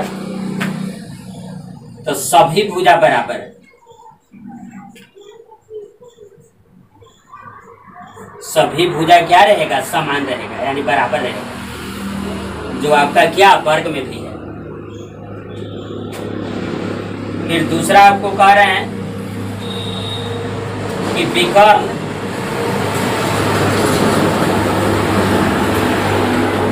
लंबवत समद्विभाज लंबवत समद्विभाज यानी विकर्ण जो है से एक दूसरे को लंबवत समद्विभाज करते हैं और सभी भुजा क्या रहता है? बराबर रहता है। लेकिन प्रत्येक कोण वर्ग के बारे में हम कहे थे कि प्रत्येक कोण 90 डिग्री का होता है, लेकिन इसमें हम इसके बारे में साइलेंट है। यानी कोण के बारे में जो है से कुछ नहीं कहा जा सकता है कोण कुछ भी रहे, लेकिन ये दोनों विशेषता मिलना चाहिए। सम चतुर्भुज में जो है से ये दोनों विशेषता मिलना चाहिए, तब तो सम चतुर्भुज आपका रहेगा। कि सभी भुजा समान रहना चाहिए और विकर्ण एक दूसरे को क्या लंबोत समद्विभाजी करना चाहिए। यानी कहने का मतलब है कि हम कह सकते हैं, वर्ग के बारे में कह सकते हैं कि वर्ग एक समचतुर्भुज है। वर्ग एक आयत होता है, कह दिए। आयत होता है। फिर इसके बाद जो है, से कह सकते हैं कि वर्ग क्या होता है? पांचवा पॉइंट दे दिए कि वर्ग समचतुर्भुज समचतुर्भुज होता है। यानी कहने का मतलब है कि समचतुर्भुज के जो भी विशेषता है, रोमबस का जो भी विशेषता है, वो वर्ग में मिल गया। तो वर्ग को हम क्या क्या कह सकते हैं? तो वर्ग को हम आयत कह सकते हैं, यस। वर्ग को सम चतुर्भुज कह सकते हैं कि नहीं? तो वर्ग को सम चतुर्भुज कह सकते हैं। क्योंकि सम चतुर्भुज में हम आपको सिर्फ़ बता रहे हैं कि सभी भुजाएँ बराबर होती है। अब विकर्ण एक दूसरे को लंबो लंबवत समविभाज करते हैं। तो ये दोनों पॉइंट अगर जो है से कहीं मिल जाएगा तो उसको क्या हम सम चतुर्भुज नहीं कह देंगे? तो वर्ग में ये दोनों पॉइंट मिल रहा है कि नहीं? तो यस, मिल रहा है। अब आप मान लिया कि कहिएगा कि क्या सम चतुर्भुज का सभी कोण 90 डिग्री का होता है? तो कोण के बारे में यहाँ पर कोई ज़िक्र नहीं किया गया। तो जब कोण के बारे में कोई ज़िक्र नहीं किया गया तो कोण के बारे में आप छोड़िए, कोण क्या होगा, कुछ भी हो सकता है, लेकिन कोण के बारे में तो ज़िक्र नहीं ना है। बस दो चीज़ के बारे में ज़िक्र है तो दो पॉइंट पर आप ध्यान दीजिए। अगर ये दोनों पॉइंट कहीं मिल जाए तो उसको हम सब चतुर्भुज कह सकते हैं रोबस कह सकते हैं। तो बस रोमबस के बारे में ध्यान रखिएगा कि सम चतुर्भुज तो ऐसे याद रखिएगा। सम चतुर्भुज, यानी कि सम माने बराबर, यानी सभी भुजा जो है, चतुर्भुज माने चारों भुजा, भुज भुज माने भुजा, माने बा, यानी चारों भुजा समान होना चाहिए। और एक चीज़ और याद रखिएगा कि विकर्ण लंबोत समद्विभाज होना चाहिए। अब कोई कहेगा कि क्या विकर्ण इसका दोनों बराबर होता है तो उसके बारे में तो हम नहीं कुछ ज़िक्र किए हैं। तो जब उसके बारे में नहीं ज़िक्र किए हैं तो आप साइलेंट रहिए, हो भी सकता है, नहीं भी हो सकता है, कुछ भी हो रहा है। लेकिन लंबोत समद्विभाज होना चाहिए। तो ये दोनों गुण चूँकि वर्ग में है, इसलिए वर्ग को हम समचतुर्भुज निसंकोच कह सकते हैं कि वर्ग एक समचतुर्भुज होता है। तो इस तरह से वर्ग आयत के बारे में बता दिया, समचतुर्भुज के बारे में बताया। तो सारे पॉइंट को जो है से आपको क्या करना है कि ध्यान रखना है, ऐसा नहीं है कि कोई डिफिनीशन आप याद रखे होंगे, आप बस उस पर जो है चल रहे होंगे। सारा गुण को जो है से ठीक से ध्यान रखना है। देखिए अब बताने जा रहे हैं सर्वांशम और समरूप के बारे में। तो देखिए सर्वांशम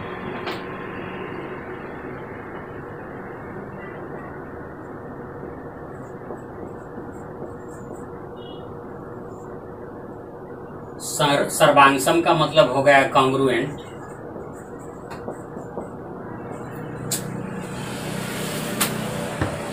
हाँ एक हो गया सर्वांशम का मतलब आपको समझना है कि दो फिगर सर्वांगसम एक दे दे रहे हैं यहाँ लिख दे रहे हैं समरूप तो इसको कहा जाता है सिमिलर सिमिलर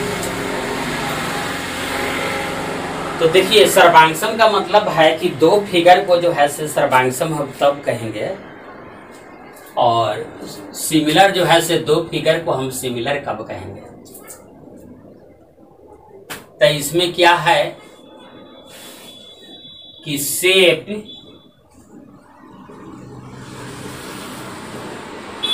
साइज़ के बारे में आई है, इसमें भी सेप आई है। और इसके बाद साइज़ आई है। तो समरूप का मतलब हो गया कि सेप सेम होना चाहिए।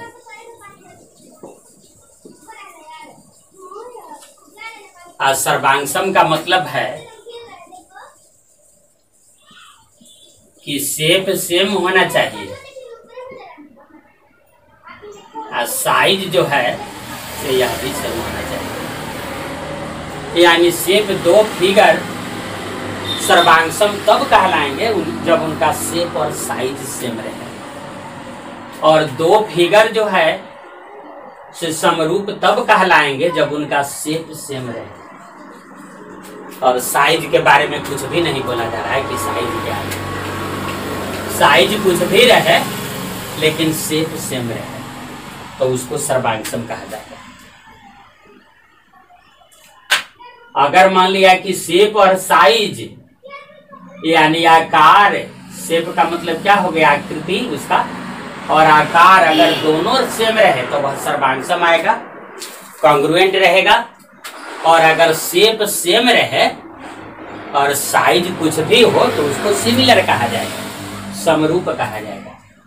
जैसे एक फिगर को अगर उठा करके दूसरे फिगर पर रख दिया जाए तो वह न थोड़ा सा बड़ा हो, न छोटा हो सेम हो तो सेम हो तो उसको कहा जाएगा कि सर्वांग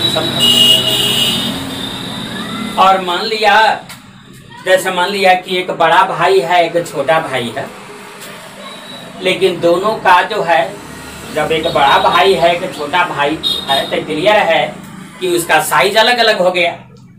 लेकिन अगर कंस्ट्रक्शन के हिसाब से देखा जाए तो जो भी देखा जा रहा है, उसकी आँखों को देखा जा रहा है, उसके कान को, उसके नाक को देखा जा रहा है तो दोनों भाई का सेम आ रहा है। यानी कहने का मतलब है कि एक तरह का है, एक ही प्रकार का लग रहा है दोनों का, एक सिर्फ़ बड़ा है, एक सिर्फ़ छोटा है। तो उसको हम समरूप कहेंगे। और सर्वांगसम का मतलब हो गया कि साइज़ भी सेम होना चाहिए और सेप भी सेम होना चाहिए। तो जैसे मान लिया कि इसमें जो है से सर्वांगसम समरूप के बारे में जो पढ़ना है तो देखिए त्रिभुज के लिए क्या था? त्रिभुज के लिए। तो त्रिभुज के लिए था एक S S S S S S भुजा भुजा भुजा।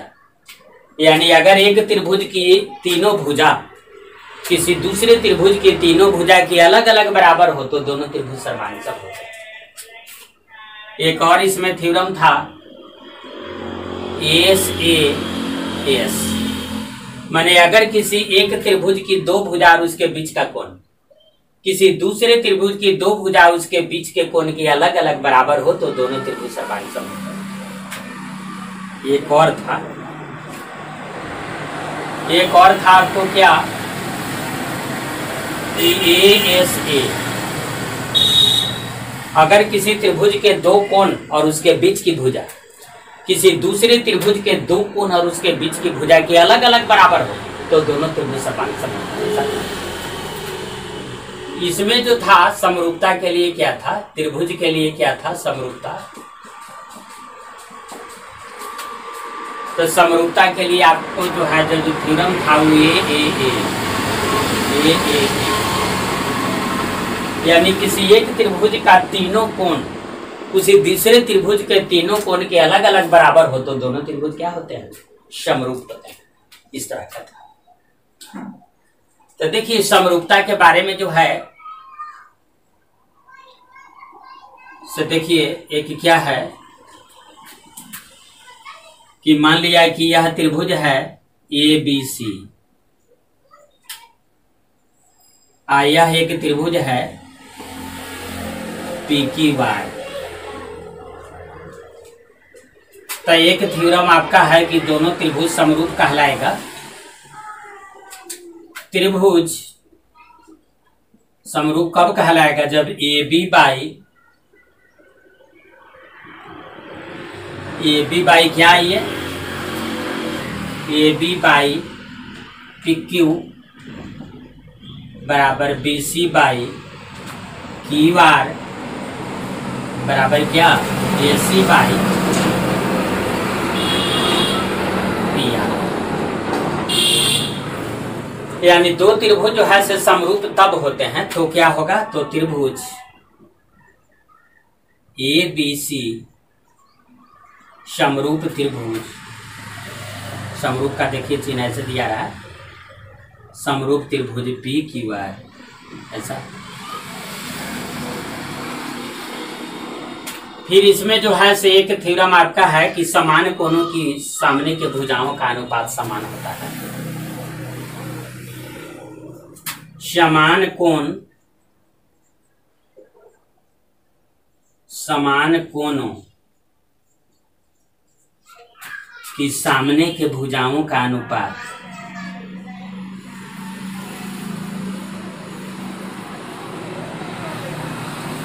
समान कोणों की सामने के भुजाओं का अनुपात। समान होता है।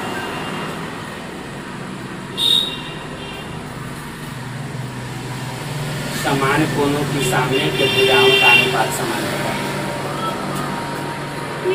जैसे देखिए। मान लिया कि एक ही त्रिभुज है या एक यह त्रिभुज? ये आपका थीटा है, ये थीटा है।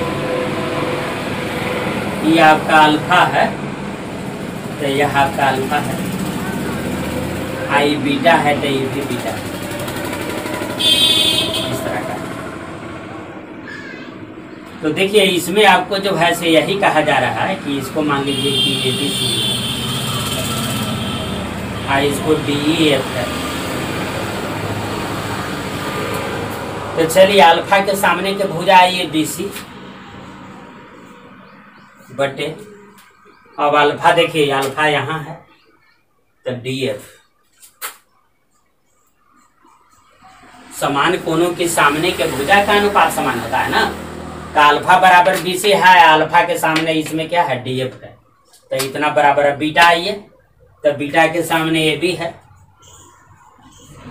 इस बीटा देखिए यहाँ बीटा है तो इसके सामने डी है। अब इसके बाद आइए। थीटा आइए थीटा के सामने इसमें ए सी है। आ इसमें थीटा के सामने क्या है? ये तो यह है आपका क्या आ गया? आपका बराबर तो इस थ्योरम को जो है से नहीं भूलिएगा कि समान कोणों के सामने के भुजाओं का अनुपात क्या होता है? समान होता है। तो यह जो है से क्या ये सब किसके लिए है? तो यह समरूपता में जो है से सब प्रमेय है। फिर इसके बाद जो है से और इसमें जो है से प्रमेय हम दे रहे हैं, जिसको आप ध्यान रखिएगा। देखिए, इसमें जो है से हम तीसरा प्रमेय आपको दे रहे हैं क्या? देखिए, तीसरा पर मैं लिख रहा हैं कि ये त्रिभुज ए बी सी और त्रिभुज डी एफ़ समरूप है। त्रिभुज क्या है? A B C. समरूप क्या है? त्रिभुज डी एफ़। D F. तो इसके बाद कह रहा है कि किसी त्रिभुज, अगर दो त्रिभुज जो है से समरूप है तो उनकी संगत भुजाओं का अनुपात क्या होता है? संबद्ध भुजाओं के वर्गों का अनुपात जो है से बराबर होता है। चलिए इसको जो है से अलग से लिख रहे हैं। तो देखिए यहाँ जो है, इतना तक आप समझिए इसके बाद जो है सर्वांग पर अभी हम ले जाएँगे तो इसको आप देखिएगा समरूपता पर ले जा रहे हैं।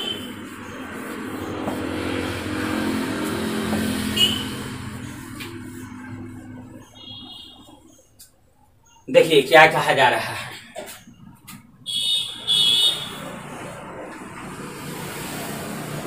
ये बी सी त्रिभुज है।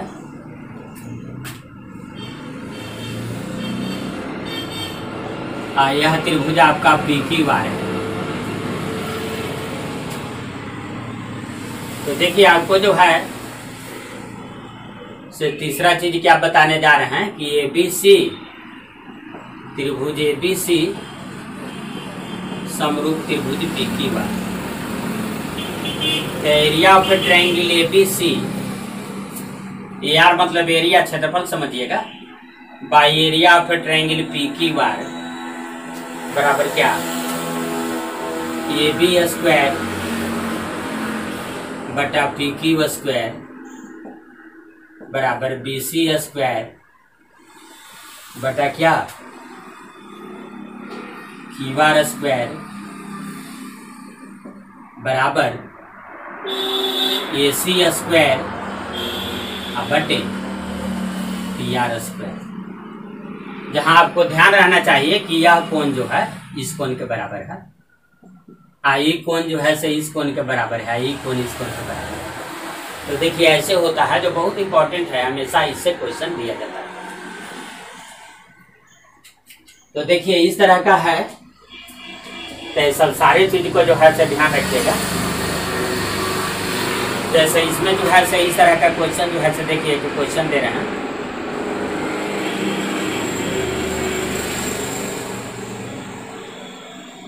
दो समरूप त्रिभुज। दो समरूप त्रिभुज के क्षेत्रफल। 125 तथा 36 है। तो संगत भुजाओं का अनुपात। संगत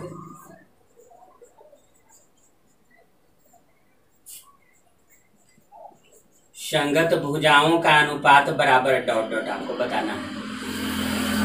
तो देखिए, यह जो है से क्वेश्चन अक्सर जो है से पुट किया जाता है। तो संगत भुजा मान लिया कि एक सर वाई है तो एक वाई बराबर क्या लिखिएगा? एक स्क्वायर बटे वाई स्क्वायर बराबर। Area of a triangle first अब बटा area of a triangle second तो अब आइए, यहाँ क्या कर दीजिएगा? एक्स स्क्वायर बटे वाई स्क्वायर बराबर 125 बटे छत्तीस। इसलिए एक्स बटे वाई बराबर क्या लिख दीजिएगा, बताइए। तो 25 125 था ना 125 नहीं लिखिए 25 खाली छोड़िए। तो इसको लिख दीजिएगा कि 25 बटे छत्तीस। और इसका क्या कर दीजिएगा अंडर रूट कर दीजिएगा। यानी पाँच बटे छ। तो चलिए, यह जो है आपका आंसर आ गया। तो इसको जो है से अक्सर पूछा जाता है, इतना आसान है फिर भी जो है से इसको पूछा जाता है। तो ध्यान आपको रखना है कि इस तरह से जो है से पूछा जाता है। अब इसके बाद जो है से जो बता रहे हैं, उस पर जो है से नज़र रखिए। देखिए। आगे जो हम बता रहे हैं, उस पर जो है से ध्यान रखना है।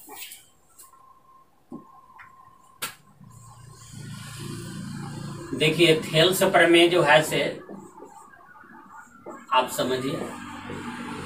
थेल्स थ्योरम तो थेल्स थ्योरम में देखिए, यह थ्योरम क्या था आपको? कि यह एक त्रिभुज है। तो इस थ्योरम में थेल्स महोदय थेल्स मैथमेटिशियन थे। उन्होंने कहा कि किसी त्रिभुज के दो भुजाओं के मध्य बिंदुओं किसी त्रिभुज के दो भुजाओं के मध्य बिंदुओं को मिलाने वाली रेखा। कोई त्रिभुज है? दो भुजाओं के मध्य बिंदुओं को नहीं, वो दूसरा थ्योरम है। देखिए थ्योरम ऐसा ऐसा है।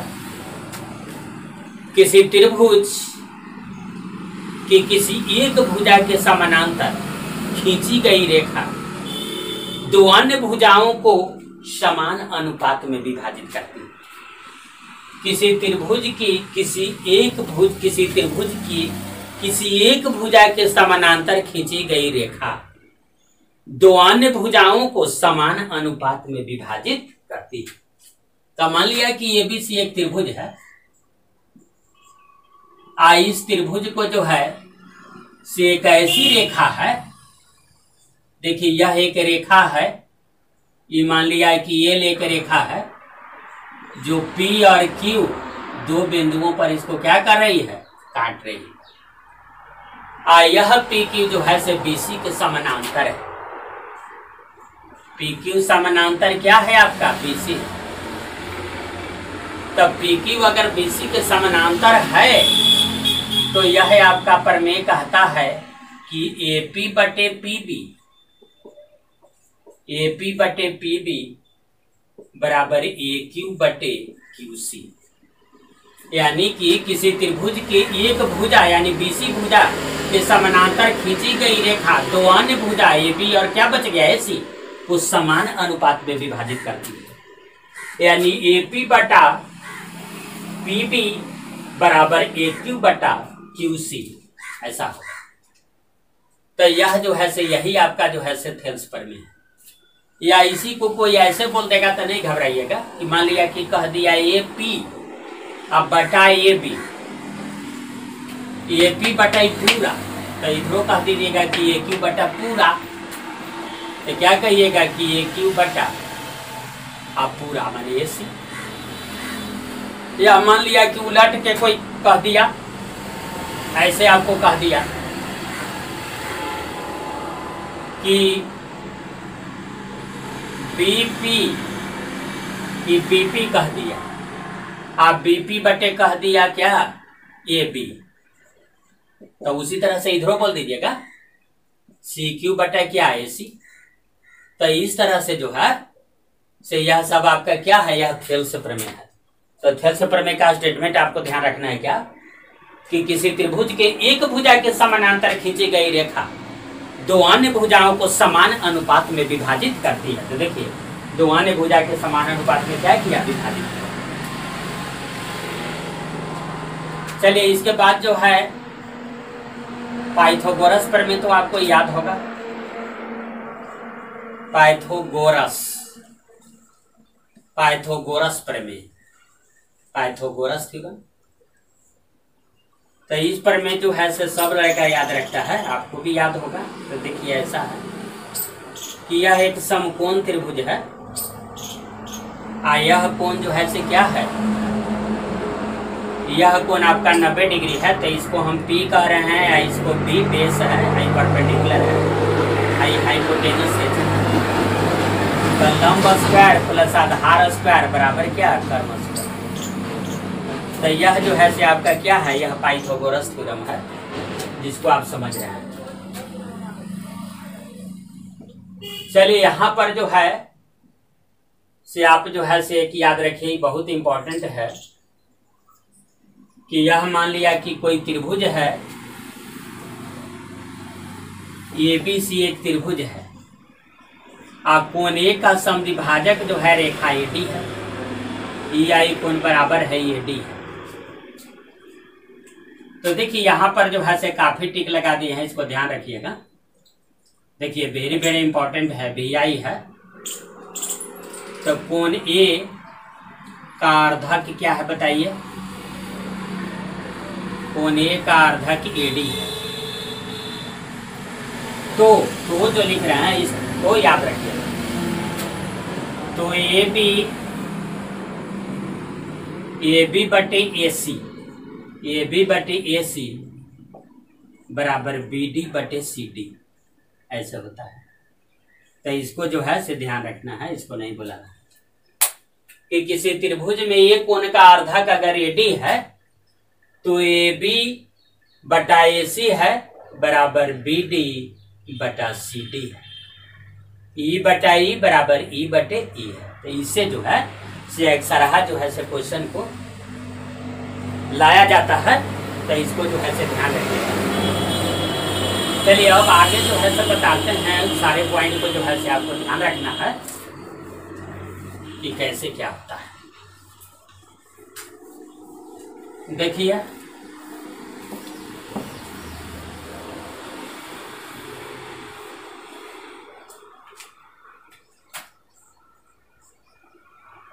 देखिए इस तीन ठो रेखा है। यह तीनों रेखा जो है से समानांतर है। एल वन है एल टू है क्या है? एल थ्री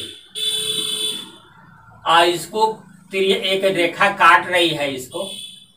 एक अन्य रेखा मान लिया, ऐसे काट रही है इसको। तो देखिए एल वन है, समानांतर क्या है आपका? एल टू है, समानांतर क्या है आपका? एल थ्री तो देखिए, यह जो है सो सीधा काट रही थी, एक तिरक छेदी रेखा है। जो इसको ऐसे सीधे काट रही है, एक जो है से ऐसे पीछे काट रही है। तो तिरछा सीधा काटने से जो है से कोई मतलब नहीं है।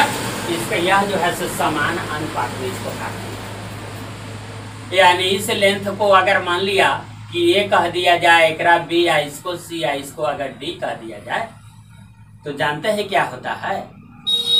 आपको ए बाई बी बराबर सी बाई डी माने ए और बी का अनुपात वही होता है जो सी और डी का अनुपात होता है। तो इसको जो है आपको ध्यान रखना है कि यह जो है L one L two L three समानांतर रेखा था, आ इसको दो तिरक छेदी रेखा जो है समान अनुपात में क्या करती है, इसको काटती है। तो देखिए, ऐसा होता है। तो इसको भी ध्यान रखिएगा। अब देखिए अनुस्पर्श रेखा। अनुस्पर्श रेखा। इसको भी ध्यान रखिएगा। देखिए, यह एक यह एक वृत्त है। और मान लिया कि एक और जो है से वृत्त है। तो इसकी त्रिज्या आर वन है, इसकी त्रिज्या क्या है? आर टू है। तो यह जो है सी अनुस्पर्श रेखा तो अनुस्पर्श रेखा के लंबाई क्या हो गया? ये भी तो ए बी बराबर जानते हैं क्या होता है? अनुस्पर्श रेखा के लंबाई।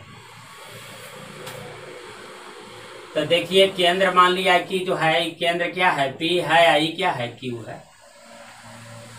तो पी क्यू स्क्वायर माने केंद्रों के बीच की दूरी का स्क्वायर घटाओ त्रिज्याओं के अंतर का स्क्वायर त्रिज्याओं के अंतर के स्क्वायर का क्या अंडर रूट ये हो गया अनुस्पर्श रेखा की लंबाई।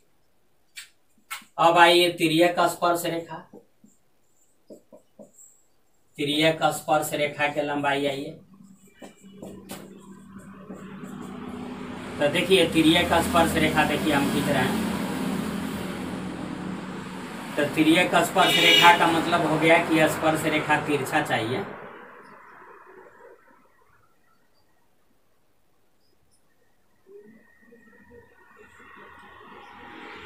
तो देखिए इसकी इसकी त्रिज्या एक आर वन है, इसकी त्रिज्या मान लिया क्या है? आर टू है। आ यह है आपका ए और बी बिंदु जो है से स्पर्श बिंदु है। आ ये आपका क्या है? बी और क्यू तो ये बी बराबर अगर आपको निकालना है, मान तिरक स्पर्श रेखा की लंबाई तो केंद्रों के बीच की दूरी का स्क्वायर घटाओ त्रिज्याओं के जोड़ का स्क्वायर। त्रिज्याओं के जोड़ का दी होल स्क्वायर है, इसका क्या हो जाएगा अंडर अब इसके बाद जो है से ऐसे ही स्पर्श रेखा मान ली है स्पर्श रेखा पर आइए।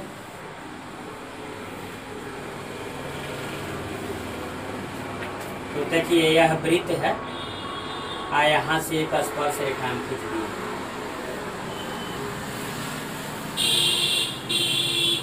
तो स्पर्श रेखा खींच दिए हैं ए बिंदु से स्पर्श रेखा खींचे हैं, बी बिंदु पर यह। तो मान लिया कि इसकी त्रिज्या आर है। तो इसके बाद आइए, यहाँ पर आइए। तो यहाँ पर अगर ए बी बराबर कोई पूछेगा कि ए बी बराबर क्या होगा, स्पर्श रेखा की लंबाई। तो स्पर्श रेखा की लंबाई आपका क्या होता है?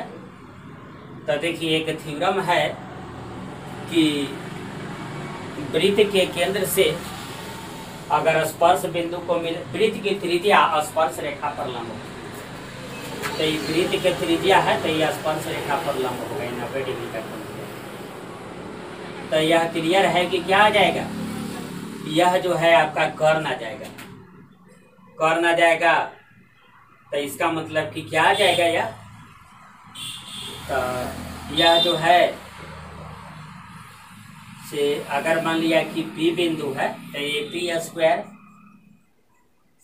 minus R square का क्या अंडर अगर ऐसा करेंगे तो क्या मिल जाएगा? यह जो है से आपका स्पर्श रेखा की लंबाई जाएगी तो यह चीज़ समझिए कि वृत्त की त्रिज्या स्पर्श रेखा पर लंब होती है। वृत्त की त्रिज्या।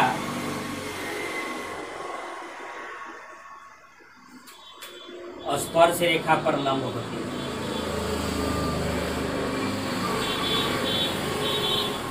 स्पर्श रेखा पर लंब होती है।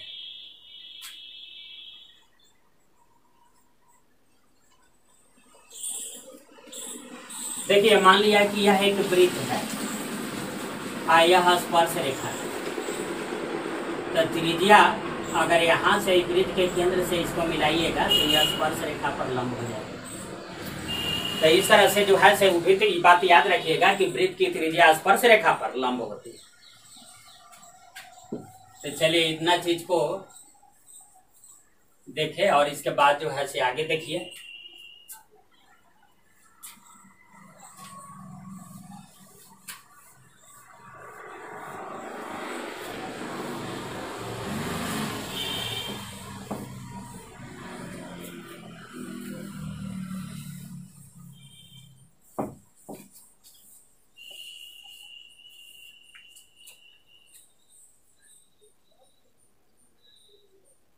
अब जैसे मान लिया कि एक क्वेश्चन हम दे दिया कि किसी वृत्त आपको जो है से अनुस्पर्श रेखा की लंबाई बताना है। दो वृत्त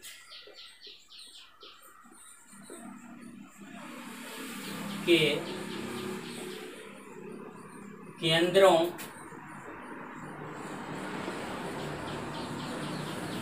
के बीच दो वृत्त के केंद्रों के बीच की दूरी जो है, बीच दूरी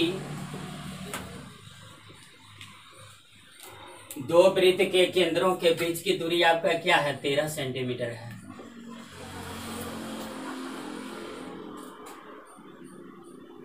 तथा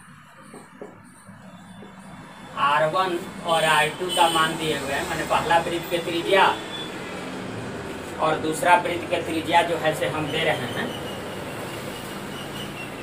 तो पहला वृत्त के त्रिज्या दूसरे वृत्त के त्रिज्या जो है से हम क्या कर रहे हैं? आपको दे रहे हैं। तो पहला वृत्त के त्रिज्या मान लिया कि तीन है और दूसरा वृत्त के त्रिज्या जो है से दो सेंटीमीटर। है तो पहला क्वेश्चन हम इसमें दे रहे हैं कि अनुस्पर्श रेखा की लंबाई।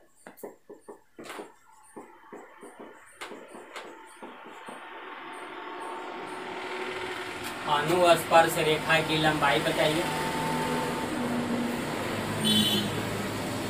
और दूसरा दे रहा है कि तिरक स्पर्श रेखा की लंबाई।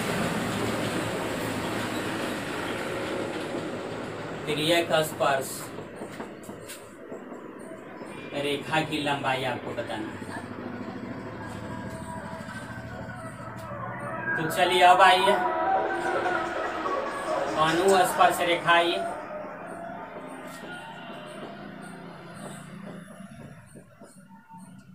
अनुस्पर्श रेखा की लंबाई आइए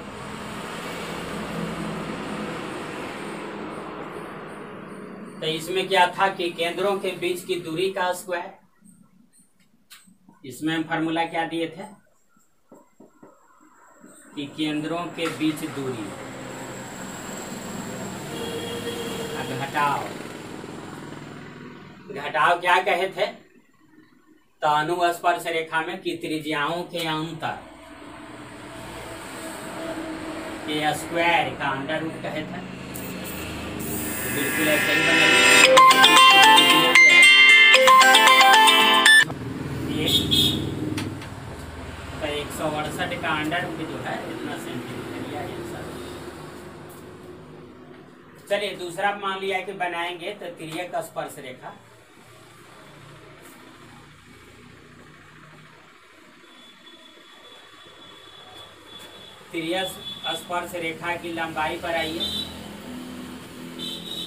तो इसमें क्या कहे थे कि केंद्रों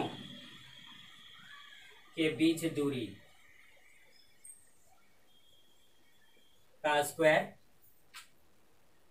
और माइनस त्रिज्याओं के जोड़ का दिहुल स्क्वायर है। इसका क्या अंडर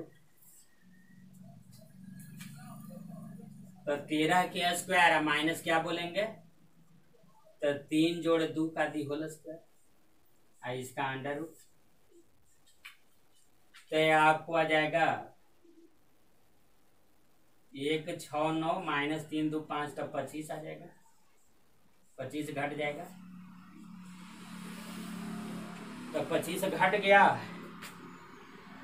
तो इसके बाद चार। पाँच, चार, नौ हो जाएगा। ये भी चार। एक सौ चौवालीस तो क्या जाएगा? बारह सौ। तो यह जो है तिरक स्पर्श रेखा के लंबाई बारह सेंटीमीटर आ गया।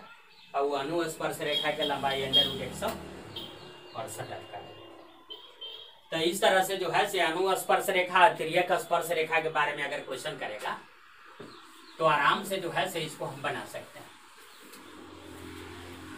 मान लिया कि कोई वृत्त है और वैसे ही जो है से वृत्त के बारे में क्वेश्चन कर दे रहे। हैं जैसे ये क्वेश्चन कर रहे हैं कि वृत्त की त्रिज्या। कि किसी वृत्त की त्रिज्या जो है से पाँच सेंटीमीटर है। और स्पर्श बिंदु से केंद्र की दूरी तेरह सेंटीमीटर है। तो कह रहा है कि स्पर्श रेखा की लंबाई बताइए। बिल्कुल आसान है देखिए समझ जाइएगा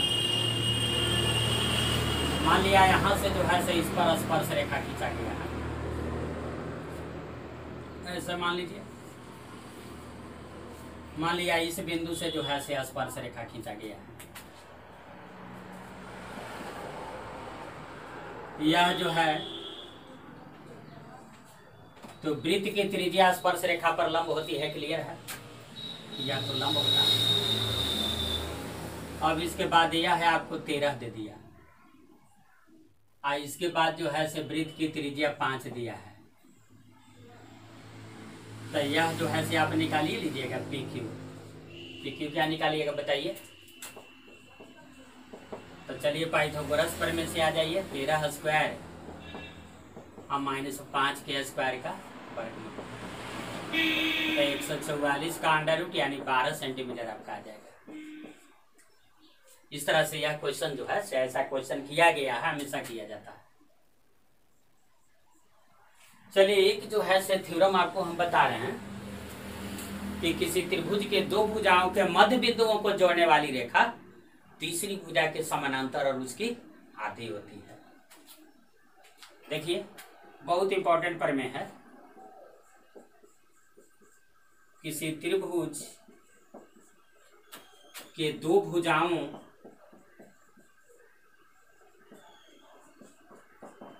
किसी त्रिभुज के दो भुजाओं के मध्य बिंदुओं।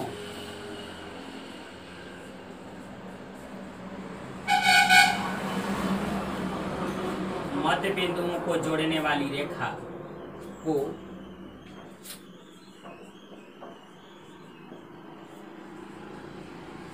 जोड़ने वाली रेखा। तीसरी भुजा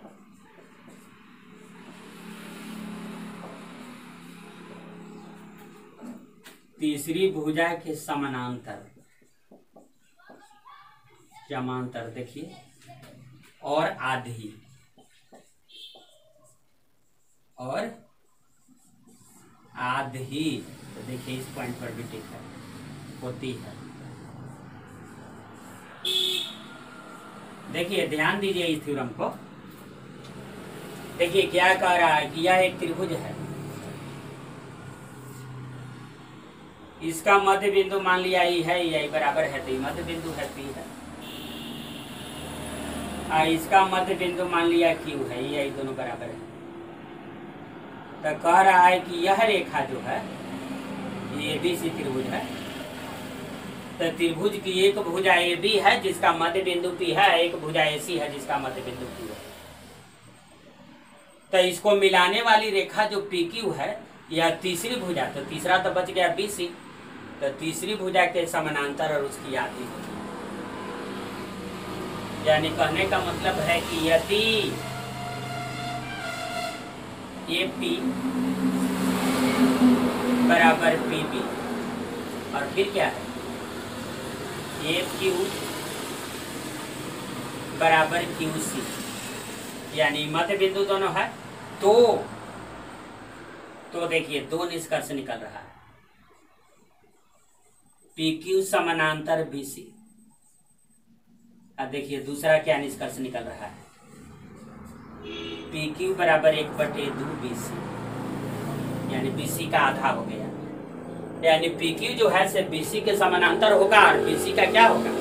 आधा होगा। तो इस तरह से जो है, से इस क्वेश्चन को जो है, आप देख लिए। यह बहुत इंपॉर्टेंट थ्योरम था। किसी त्रिभुज की दो भुजाओं के मध्य बिंदुओं को जोड़ने वाली रेखा तीसरी भुजा के समानांतर और उसकी आधी होती है।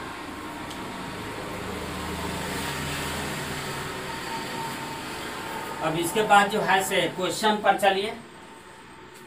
कुछ क्वेश्चन पर जो है से हम लोग चलते हैं।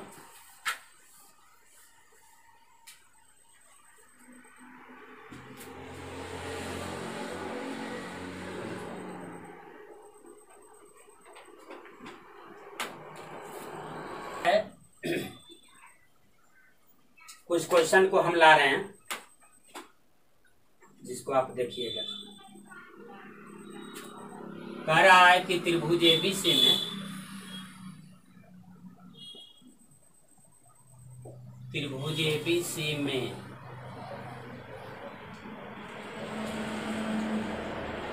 कोने का अर्धक कोने का अर्धक एडी है। है।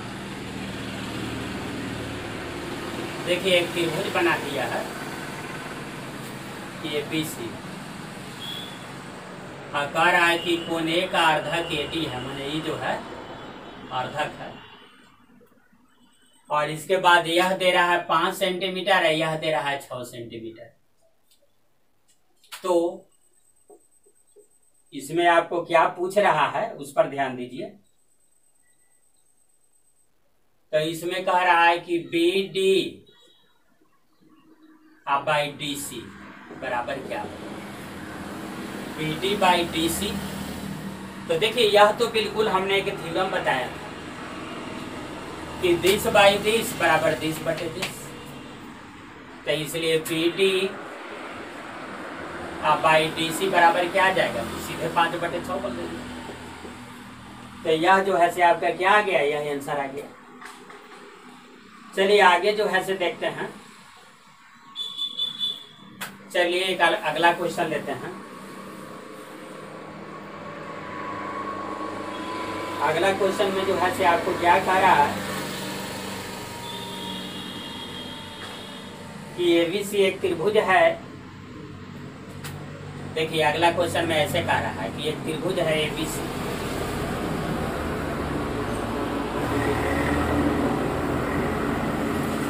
कोने का अर्धक एडी है। एडी जो है कोने का अर्धक है, यानी ये आई कोण बराबर है। एडी आपका क्या है? एडी अर्धक है। चलिए, इतना दिए हुए है। फिर इसके बाद जो है से क्या कह रहा है कि ए बी बराबर जो है से दस सेंटीमीटर है। ए बी सी आपको ऐसे दिया है ए बी दिया है आई सी दिया है। चलिए उसे कोई दिक्कत नहीं है। तो ए बी बराबर ही दस सेंटीमीटर दिए हुए है आई छः सेंटीमीटर।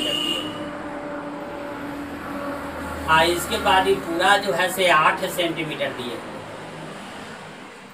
पूरा आठ सेंटीमीटर दे दिया। तो कह रहा है कि बीडी की लंबाई जो है, आधार बीसी को डी बिंदु पर मिलाती है। यदि ये भी 10 सेंटीमीटर बीसी 8 सेंटीमीटर तथा एसी 6 सेंटीमीटर हो तो बीडी की लंबाई आप बताइए कि बीडी की लंबाई जो है से क्या होगा? यानी बीडी आपसे पूछ रहा है। आपसे कौन पूछ रहा है? आपसे जो है, ये एक से पूछ रहा है। ऐसे मान के चलिए। देखिए क्वेश्चन को बढ़िया समझिए। सारा चीज़ दिया हुआ है। क्या क्या दिया हुआ है? ए डी जो है से क्या है? अर्धक है। ए डी कोने का अर्धक है। कोने का अर्धक ए डी है। और क्या दिए हुए है? तो देखिए, दस सेंटीमीटर छह सेंटीमीटर या आठ सेंटीमीटर तो कह रहा है कि बताइए। तो एक से बताइए कि एक से बराबर डॉट डॉट क्या तो चलिए, अभी अभी जो हम थ्योरम बताए थे उसका में इम्पोर्टेंट पर में भी कहे थे कि अगर यह अर्धक है इस कोण का तो दिस बाई दिस बराबर दिस बाई दिस। ऐसा होता तो चलिए, उसी थ्योरम पर आइए। तो क्या आ जाएगा? छ बटे दस। आएगा कि नहीं? छ बटे दस बराबर सी डी अब बाई क्या आएगा? एक्स सी डी बाई वाला। तो अब इसके बाद जो है से नहीं होगा तो काट दीजिए। दो तिया छ दो पचे दस। तो तीन बटे पाँच बराबर क्या आ जाएगा? तो सी डी तो सी डी को हम लिख सकते हैं। आठ घटा एक्स अब आई एक्स हो यहाँ से यहाँ तक आठ है, इसको जब एक्स एक्स है तो ये आपको आठ घटा आ जाएगा तो पीछा पीछे गुना कर दीजिए तो थ्री एक्स बराबर बताइए।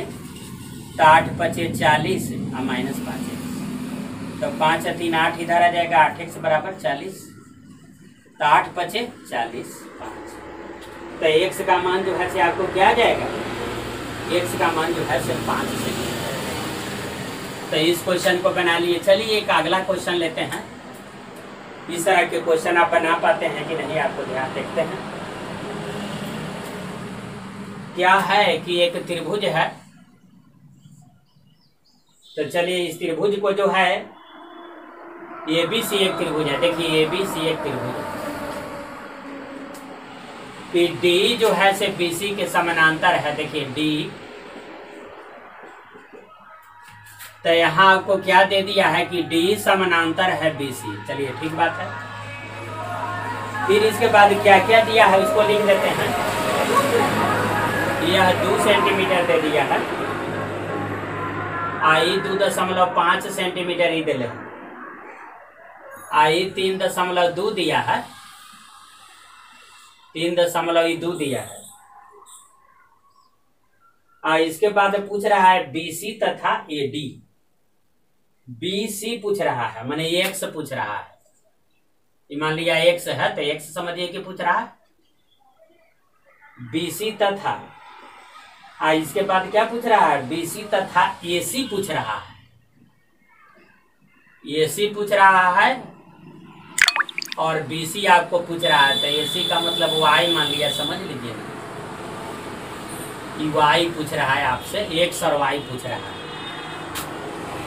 हाँ देखिए, यह दिया हुआ है डी समानांतर बीसी तो एक्स कॉमा वाई बराबर डॉट तो चलिए, इसको जो है से बिल्कुल थ्योरम लगाते हैं। तो क्या है कि इसको जो है से देखिए, जब यह समानांतर है तो थेल से प्रमेय लगा दीजिए। तो चलिए थेल से प्रमेय से थेल से प्रमेय से लगाइए। तो ई बटे ई ना तो दो बटे दो दशमलव पाँच, बराबर बताइए। तीन पॉइंट दो, आप बटे क्या लिखिएगा? तो ये लिखिएगा ना इसी इसी तो इसके बाद जो है, से आप काट भी सकते हैं, यहाँ से इसको काट दीजिए, सोलह दूनी बत्तीस, वन पॉइंट सिक्स आ जाएगा। तो तिरछा से गुना कर दीजिए इसी बराबर क्या आ जाएगा? तो दो दशमलव पाँच आ गुने एक दशमलव छ तो सोलह पचे अस्सी की ज़ीरो हाथ में आठ और सोलह दूनी बत्तीस और आठ। चालीस की ज़ीरो हाथ में चार। बत्तीस आठ, चालीस में हो गया? चालीस। तो देखिए, यह क्या आ गया आपका? चार सेंटीमीटर आ गया। किसकी लंबाई आ गया? यह इसी की लंबाई है, लेकिन वाई आपसे पूछ रहा है तो वाई बराबर तो आप क्या लिखिएगा? तीन दशमलव दो जोड़, ये भी तो जोड़िएगा ना? तो यह जोड़िएगा तो प्लस चार तो चार तीन सात दशमलव दो सेंटीमीटर तो वाई का मान आपका क्या आ गया? सात दशमलव दो सेंटीमीटर था यह आंसर चलिए अभी एक्स के मान आपसे पूछ रहा है कि एक्स का मान क्या है? तो एक्स का मान अगर आपसे पूछ रहा है तो इसको जो है से कैसे बनाइएगा? तो देखिए, यह जो है से आपको लग रहा है ना कि यह जो है से क्या है? यह आपका थिल्स प्रमेय है। तो यह जो है से क्या समरूप त्रिभुज का मामला है ना? तो ये छोटा त्रिभुज जो है, छोटका त्रिभुज के आप बाहर निकाल लीजिए। तो छोटा त्रिभुज के अगर बाहर निकालिएगा ना तो यह जो है से आपसे आसानी से बनेगा कि क्या होगा, देखिए, इसको जो है से हम कैसे बनाते हैं। ध्यान रखिएगा यहाँ तक तो आप समझ गए कि y का मान जो है से आपको क्या दे दिया y का मान आपको दे दिया। y का मान जो है से सात दशमलव दो सेंटीमीटर आ गया। अब इसके बाद जो है से अब हम क्या बनाते हैं कि एक और चीज़, x का मान बताना है। तो देखिए, ये छोटका त्रिभुज है। तो इसको हम निकाल दिया। आई बड़ा त्रिभुज एक है तो बड़ा त्रिभुज को हमने निकाल दिया। तो यह जो है, से आपका दून है। आ इसके बाद जो है, से यह क्या है? तीन दशमलव दो है। और इसके बाद यह पूरा क्या है? तो दो आई जोड़िएगा ना तो चार दशमलव पाँच आ जाएगा। आ, यह अभी अभी आया था क्या? सात दशमलव दो आया था। आई एक्स का मान बताना था।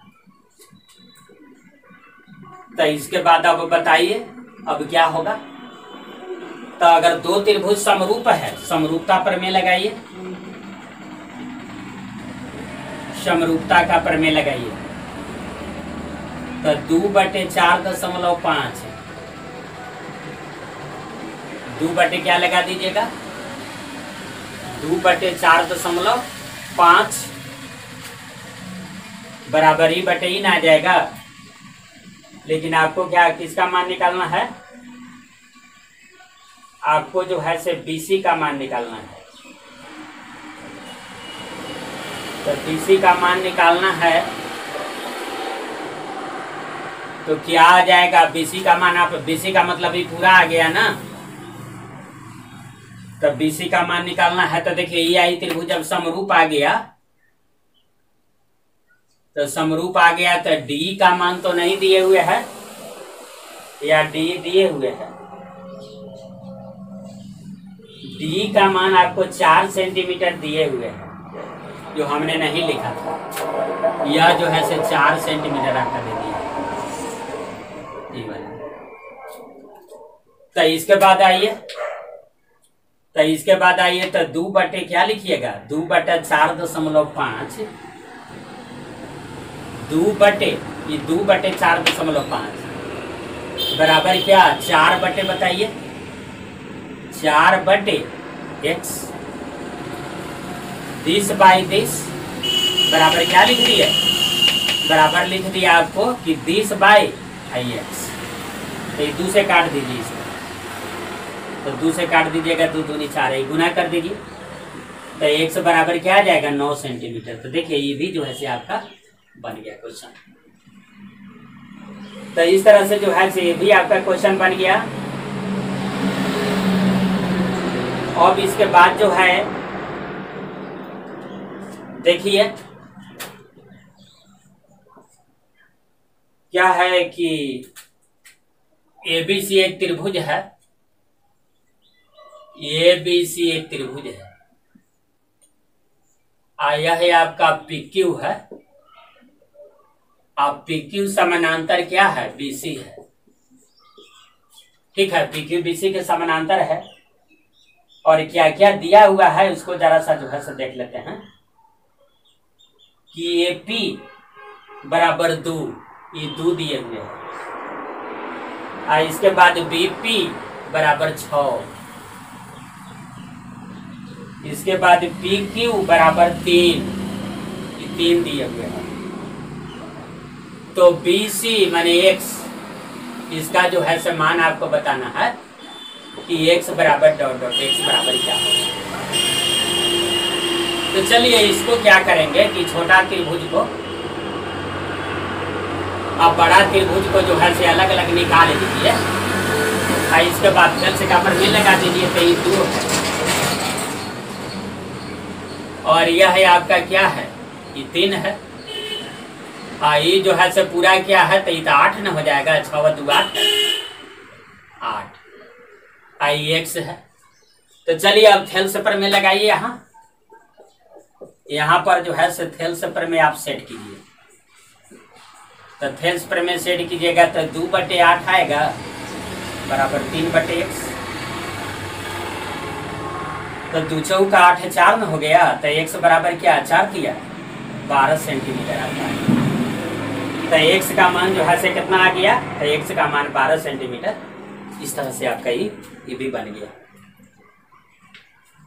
चलिए अब आगे जो है से तो इस तरह से त्रिभुज को जो है से बाहर निकाल करके सोचिएगा। हाँ नहीं तो जो है से गलत आपका हो सकता है। गलत हो जाएगा।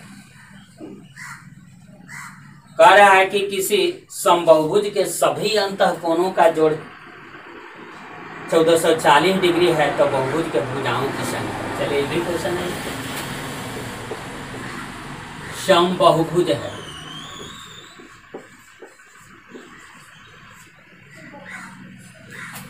सम बहुभुज के सभी अंत कोण सम बहुभुज के सभी अंत कोण का जोड़ क्या है? 1440 डिग्री है। तो कह रहा है कि तो भुजा।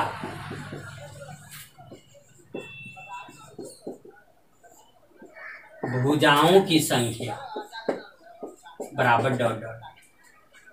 तो किसी बहुभुज के सभी अंत कोणों का जोड़ जो है से हम क्या जानते हैं, सभी अंत कोणों का जोड़ दिया है तो सभी अंत कोण का जोड़ क्या होता है? तो two n minus four into ninety. तो सभी अंत कोण का जोड़ जो है, से आपको यही ना है तो इतना का मान जो है से आपको दे दिया है क्या? चौदह सौ चालीस। ये तो निकल ही जाएगा, आप भी निकाल सकते हैं। सोलह में चौवालीस तो टू एन बराबर आपको बीस आ जाएगा तो एन बराबर क्या आ गया? दस, यानी दस भुज होगा। तो यह तो बिल्कुल फार्मूला पर आपका था तो इस पर जो है, यह जो कोई कठिन क्वेश्चन नहीं था तो इसको जो है से आपने क्या कर लिया? बना लिया। चलिए, एक क्वेश्चन जो है से ऐसा दिया है। देखिए, यह एक जो है से वृत्त है सर्किल है। आ यह उसका केंद्र है आ देखिए, एक कोण जो है से ऐसे दे रहा है, बना रहा है। ऐसे। तो देखिए, ये चाप है। आ, इस चाप द्वारा जो है से कोण यहाँ पर जो है, यह कोण जो है से क्या बनाया? तो यह कोण पंद्रह डिग्री का बनाया। इस कोण का मान पूछ रहा है कि क्या हो? एक्स बराबर डॉट डॉट। तो हम आपको बताए हैं कि एक ही चाप द्वारा केंद्र पर बना कोण उसी चाप द्वारा परिधि पर बनाए गए कोण का? गुना होता है। तो इसका मतलब है कि कैसे बनेगा? तो परिधि पर अगर मान लिया, तीस डिग्री मान, तीस डिग्री है, तीस डिग्री मान लेते हैं।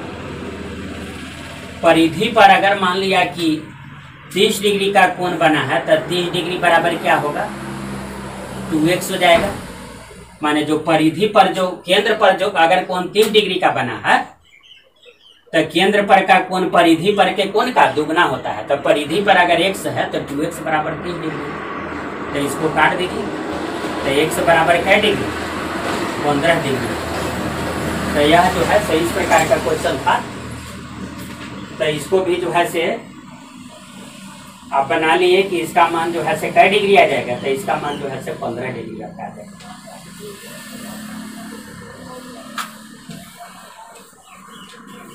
इसके बाद जो है सर देखिए अगला क्वेश्चन देखिए।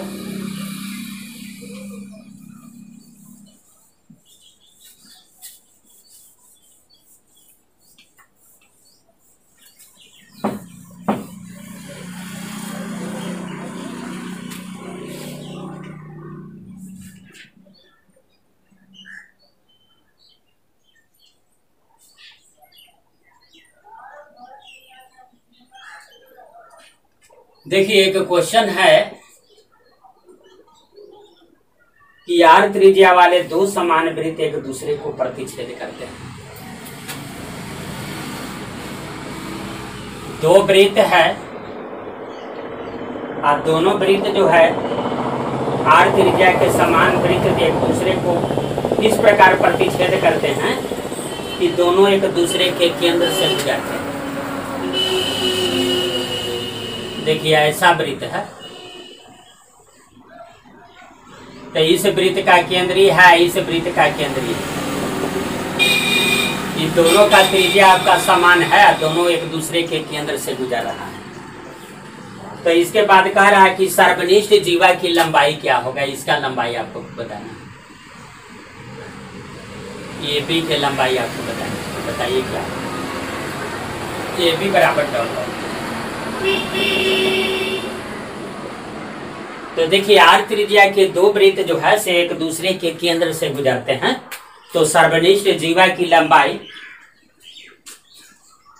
सर्वनिष्ठ जीवा की लंबाई जो है, से क्या होगा? ये भी एक ऐसा जीवा है, जो दोनों सर्किल के लिए है। तो इसकी लंबाई पूछ रहा है। तो देखिए, इसकी लंबाई हम बता रहे हैं, जरा सा ध्यान दीजिए।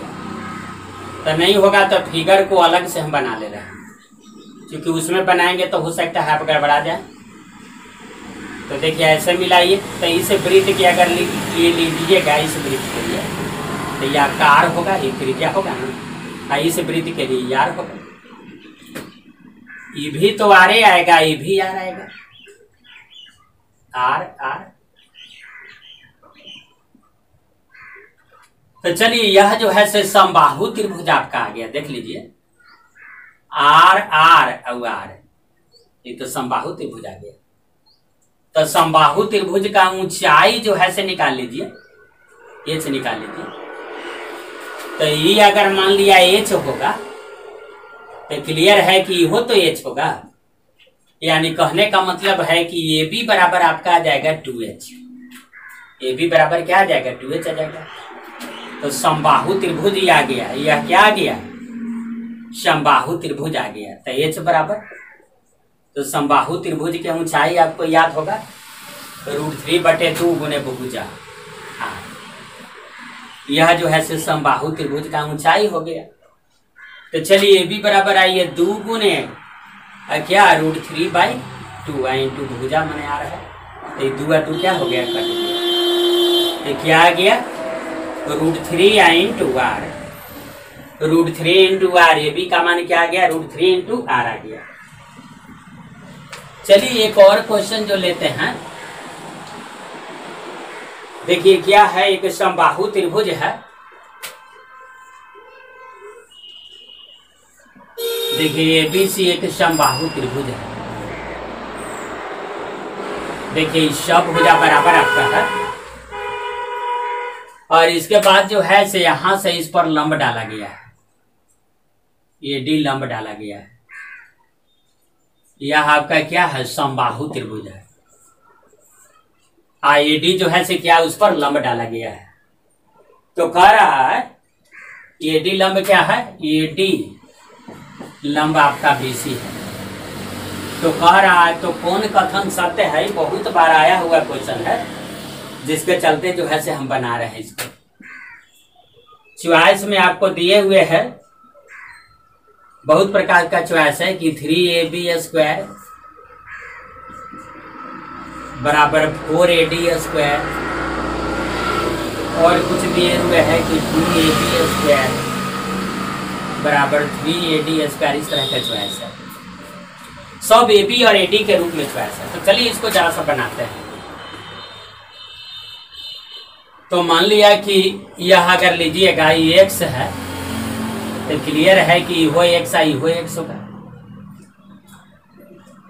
तो यह जो है से आपका एक्स बटे दो आ जाएगा। ये वाला एक्स बटे दो आ जाएगा। चलिए इसको अलग से बनाते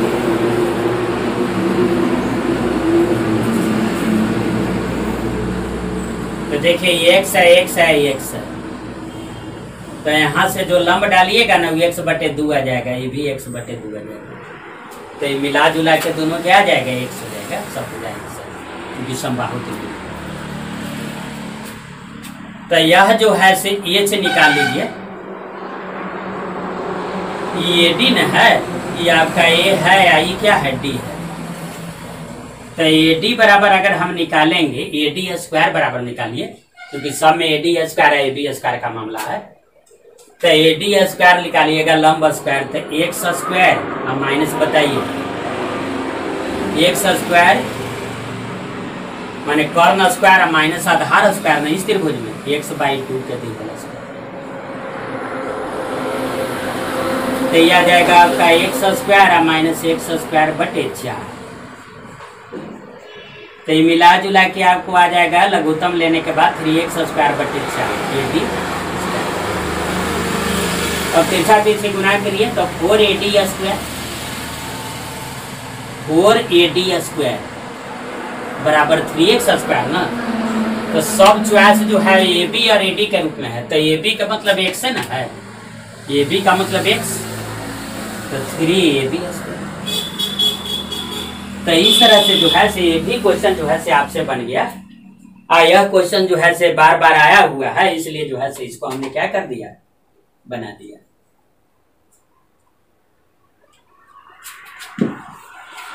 अब जो है से आगे देखिए।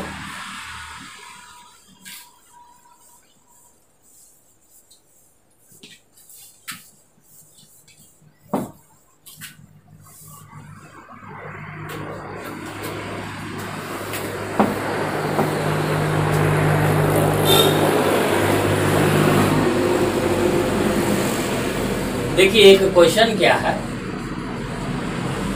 कि किसी त्रिभुज की भुजाएँ पाँच और सात सेंटीमीटर कोई त्रिभुज है? इसकी भुजाएँ पाँच छः और सात है। तो इसके मध्य बिंदुओं को जोड़कर बनाए गए त्रिभुज का परिमाप क्या होगा? इसके मध्य बिंदुओं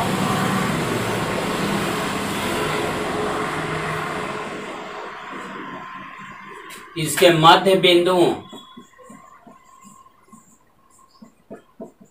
को मिलाने से बने त्रिभुज का परिमाप, यानी परिमिति क्या होगा? यह आपको बताना है। तो चलिए देख लीजिए, इसको समझ लीजिए। ये पाँच आपका है, ये छ है, ये सात इसका मध्य बिंदु मान लिया ये है, इसका मध्य बिंदु ये है, इसका मध्य बिंदु ये तो चलिए इसको बनाइए। तो अब आप बताइए कि किसी त्रिभुज के दो भुजाओं के मध्य बिंदुओं को जोड़ने वाली रेखा तीसरी भुजा के समानांतर और उसकी यादें होती है। तो यह आपको जो है से छ बटे दो आएगा कि नहीं? यह आपका छ बटे दो आ जाएगा। इसका ई वाला आधा हो जाएगा। अब जो है से इसको ऐसे सोचिए किसी त्रिभुज के दो भुजाओं के मध्य बिंदुओं को जोड़ने वाली रेखा तीसरी भुजाई हो गया तो समानांतर और उसकी आधी होती है तो सात बटे दो आ इसको ऐसा ऐसे सोचिए तो यह जो है से इसका आधा हो जाएगा। ये कितना जाएगा? पाँच बटे दो हो जाएगा। तो आपका परिमिति बराबर क्या जाएगा? परिमिति बताइए छः बटे दो जोड़ पाँच बटे दो सात बटे दो सात पाँच बारह। सात पाँच कितना बारह छः अट्ठारह अठारह। बटे दो, यानी क्या? नौ सेंटीमीटर। तो इस तरह से जो है से इसका परिमिति निकल गया। अब जो है से मान लिया कि अगर ऐसा क्वेश्चन रहे तब कैसे बनाइएगा।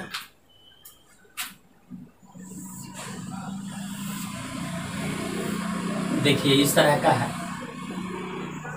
ए है, बी है, सी है और डी है। आ, इसमें क्या है कि ये डी समानांतर आपका क्या दिया हुआ है बी सी। आ, यह जो है से आपका 20 सेंटीमीटर है, आ, ये आपका 10 है। आ, यह मध्य बिंदु है, देखिए, इसका इसका मध्य बिंदु ही है, इसका इसका मध्य तो इसकी लंबाई जो है से पूछ रहा है कि एक्स बराबर डॉट डॉट क्या होगा? कैसे होगा? तो चलिए इसको जो है से बनाते हैं, ध्यान रखिए। ऐसे। यह है आपका क्या है? बीस है। ये बीस है ये दस है। आ इसके बाद जो है से इसकी लंबाई एक से पूछ रहा है। चलिए, इसको जो है से ऐसे हमें मिलाते हैं। देखिए, ये तो मध्य बिंदु है। और यह जो है से क्या है तीनों जो है से समानांतर है। ये सब समानांतर है तो एक से बराबर क्या हो जाएगा? एक से बराबर? तो इसमें अगर इसको एक्स वन कह दिया जाए आ इसको मान लिया कि एक्स टू हम कह रहे हैं तो एक्स वन बराबर क्या जाएगा? बीस बटे दो। आ एक्स टू बराबर क्या आ जाएगा? इस त्रिभुज में आइए। तो ये इसका क्या जाएगा? आधा जाएगा, दस बटे दो। तो इस तरह से ये आ गया दस। आई दो पचे दस पाँच। तो एक सौ बराबर आपका क्या आ जाएगा? तो एक सौ वन जोड़ एक्स यानी कि पंद्रह सेंटीमीटर आपका ये तो इस तरह से जो है, से ये क्वेश्चन जो है, से बन गया। तो इस तरह से जो है से हमने जो है से बहुत सारे क्वेश्चन को बनाया। और प्रत्येक पॉइंट पर जो है से आपको ध्यान रखना है। अगर आप ध्यान नहीं रखिएगा तो आप नहीं समझ पाइएगा। यह जो है सो मैं लंबा वीडियो जो है सो बनाया हूँ। इसलिए आपका कर्तव्य है कि शुरू से अंत तक जो है से वीडियो को नहीं देखिएगा। तो आप जो है से कैसे समझ पाइएगा। तो इसी के साथ जो है से आज का वीडियो मैं समाप्त करता हूँ। और इसके बाद जो है से अगला वीडियो दूँगा जो लंबा ही होगा। और शुरू से अंत तक आपको देखना अनिवार्य है। और डिप्लोमा का एग्ज़ाम जो है से तुरंत निकालने वाला है। इसका डेट जो है से तुरंत निकालने जा रहा है। एली का निकाल दिया है। तो आप जो है से पूरा जो है से लॉन्ग टाइम जो है से पूरे टाइम तक वीडियो को देखें। और डाउनलोड करके नहीं देखिएगा, आप जो है से डायरेक्ट जो है से यूट्यूब से ही देखिएगा। और सब्सक्राइब अधिक से अधिक कीजिए और दोस्तों के भी शेयर कीजिए। इसी के साथ मैं अपने वक्तव्य को आज विराम देता हूँ। धन्यवाद।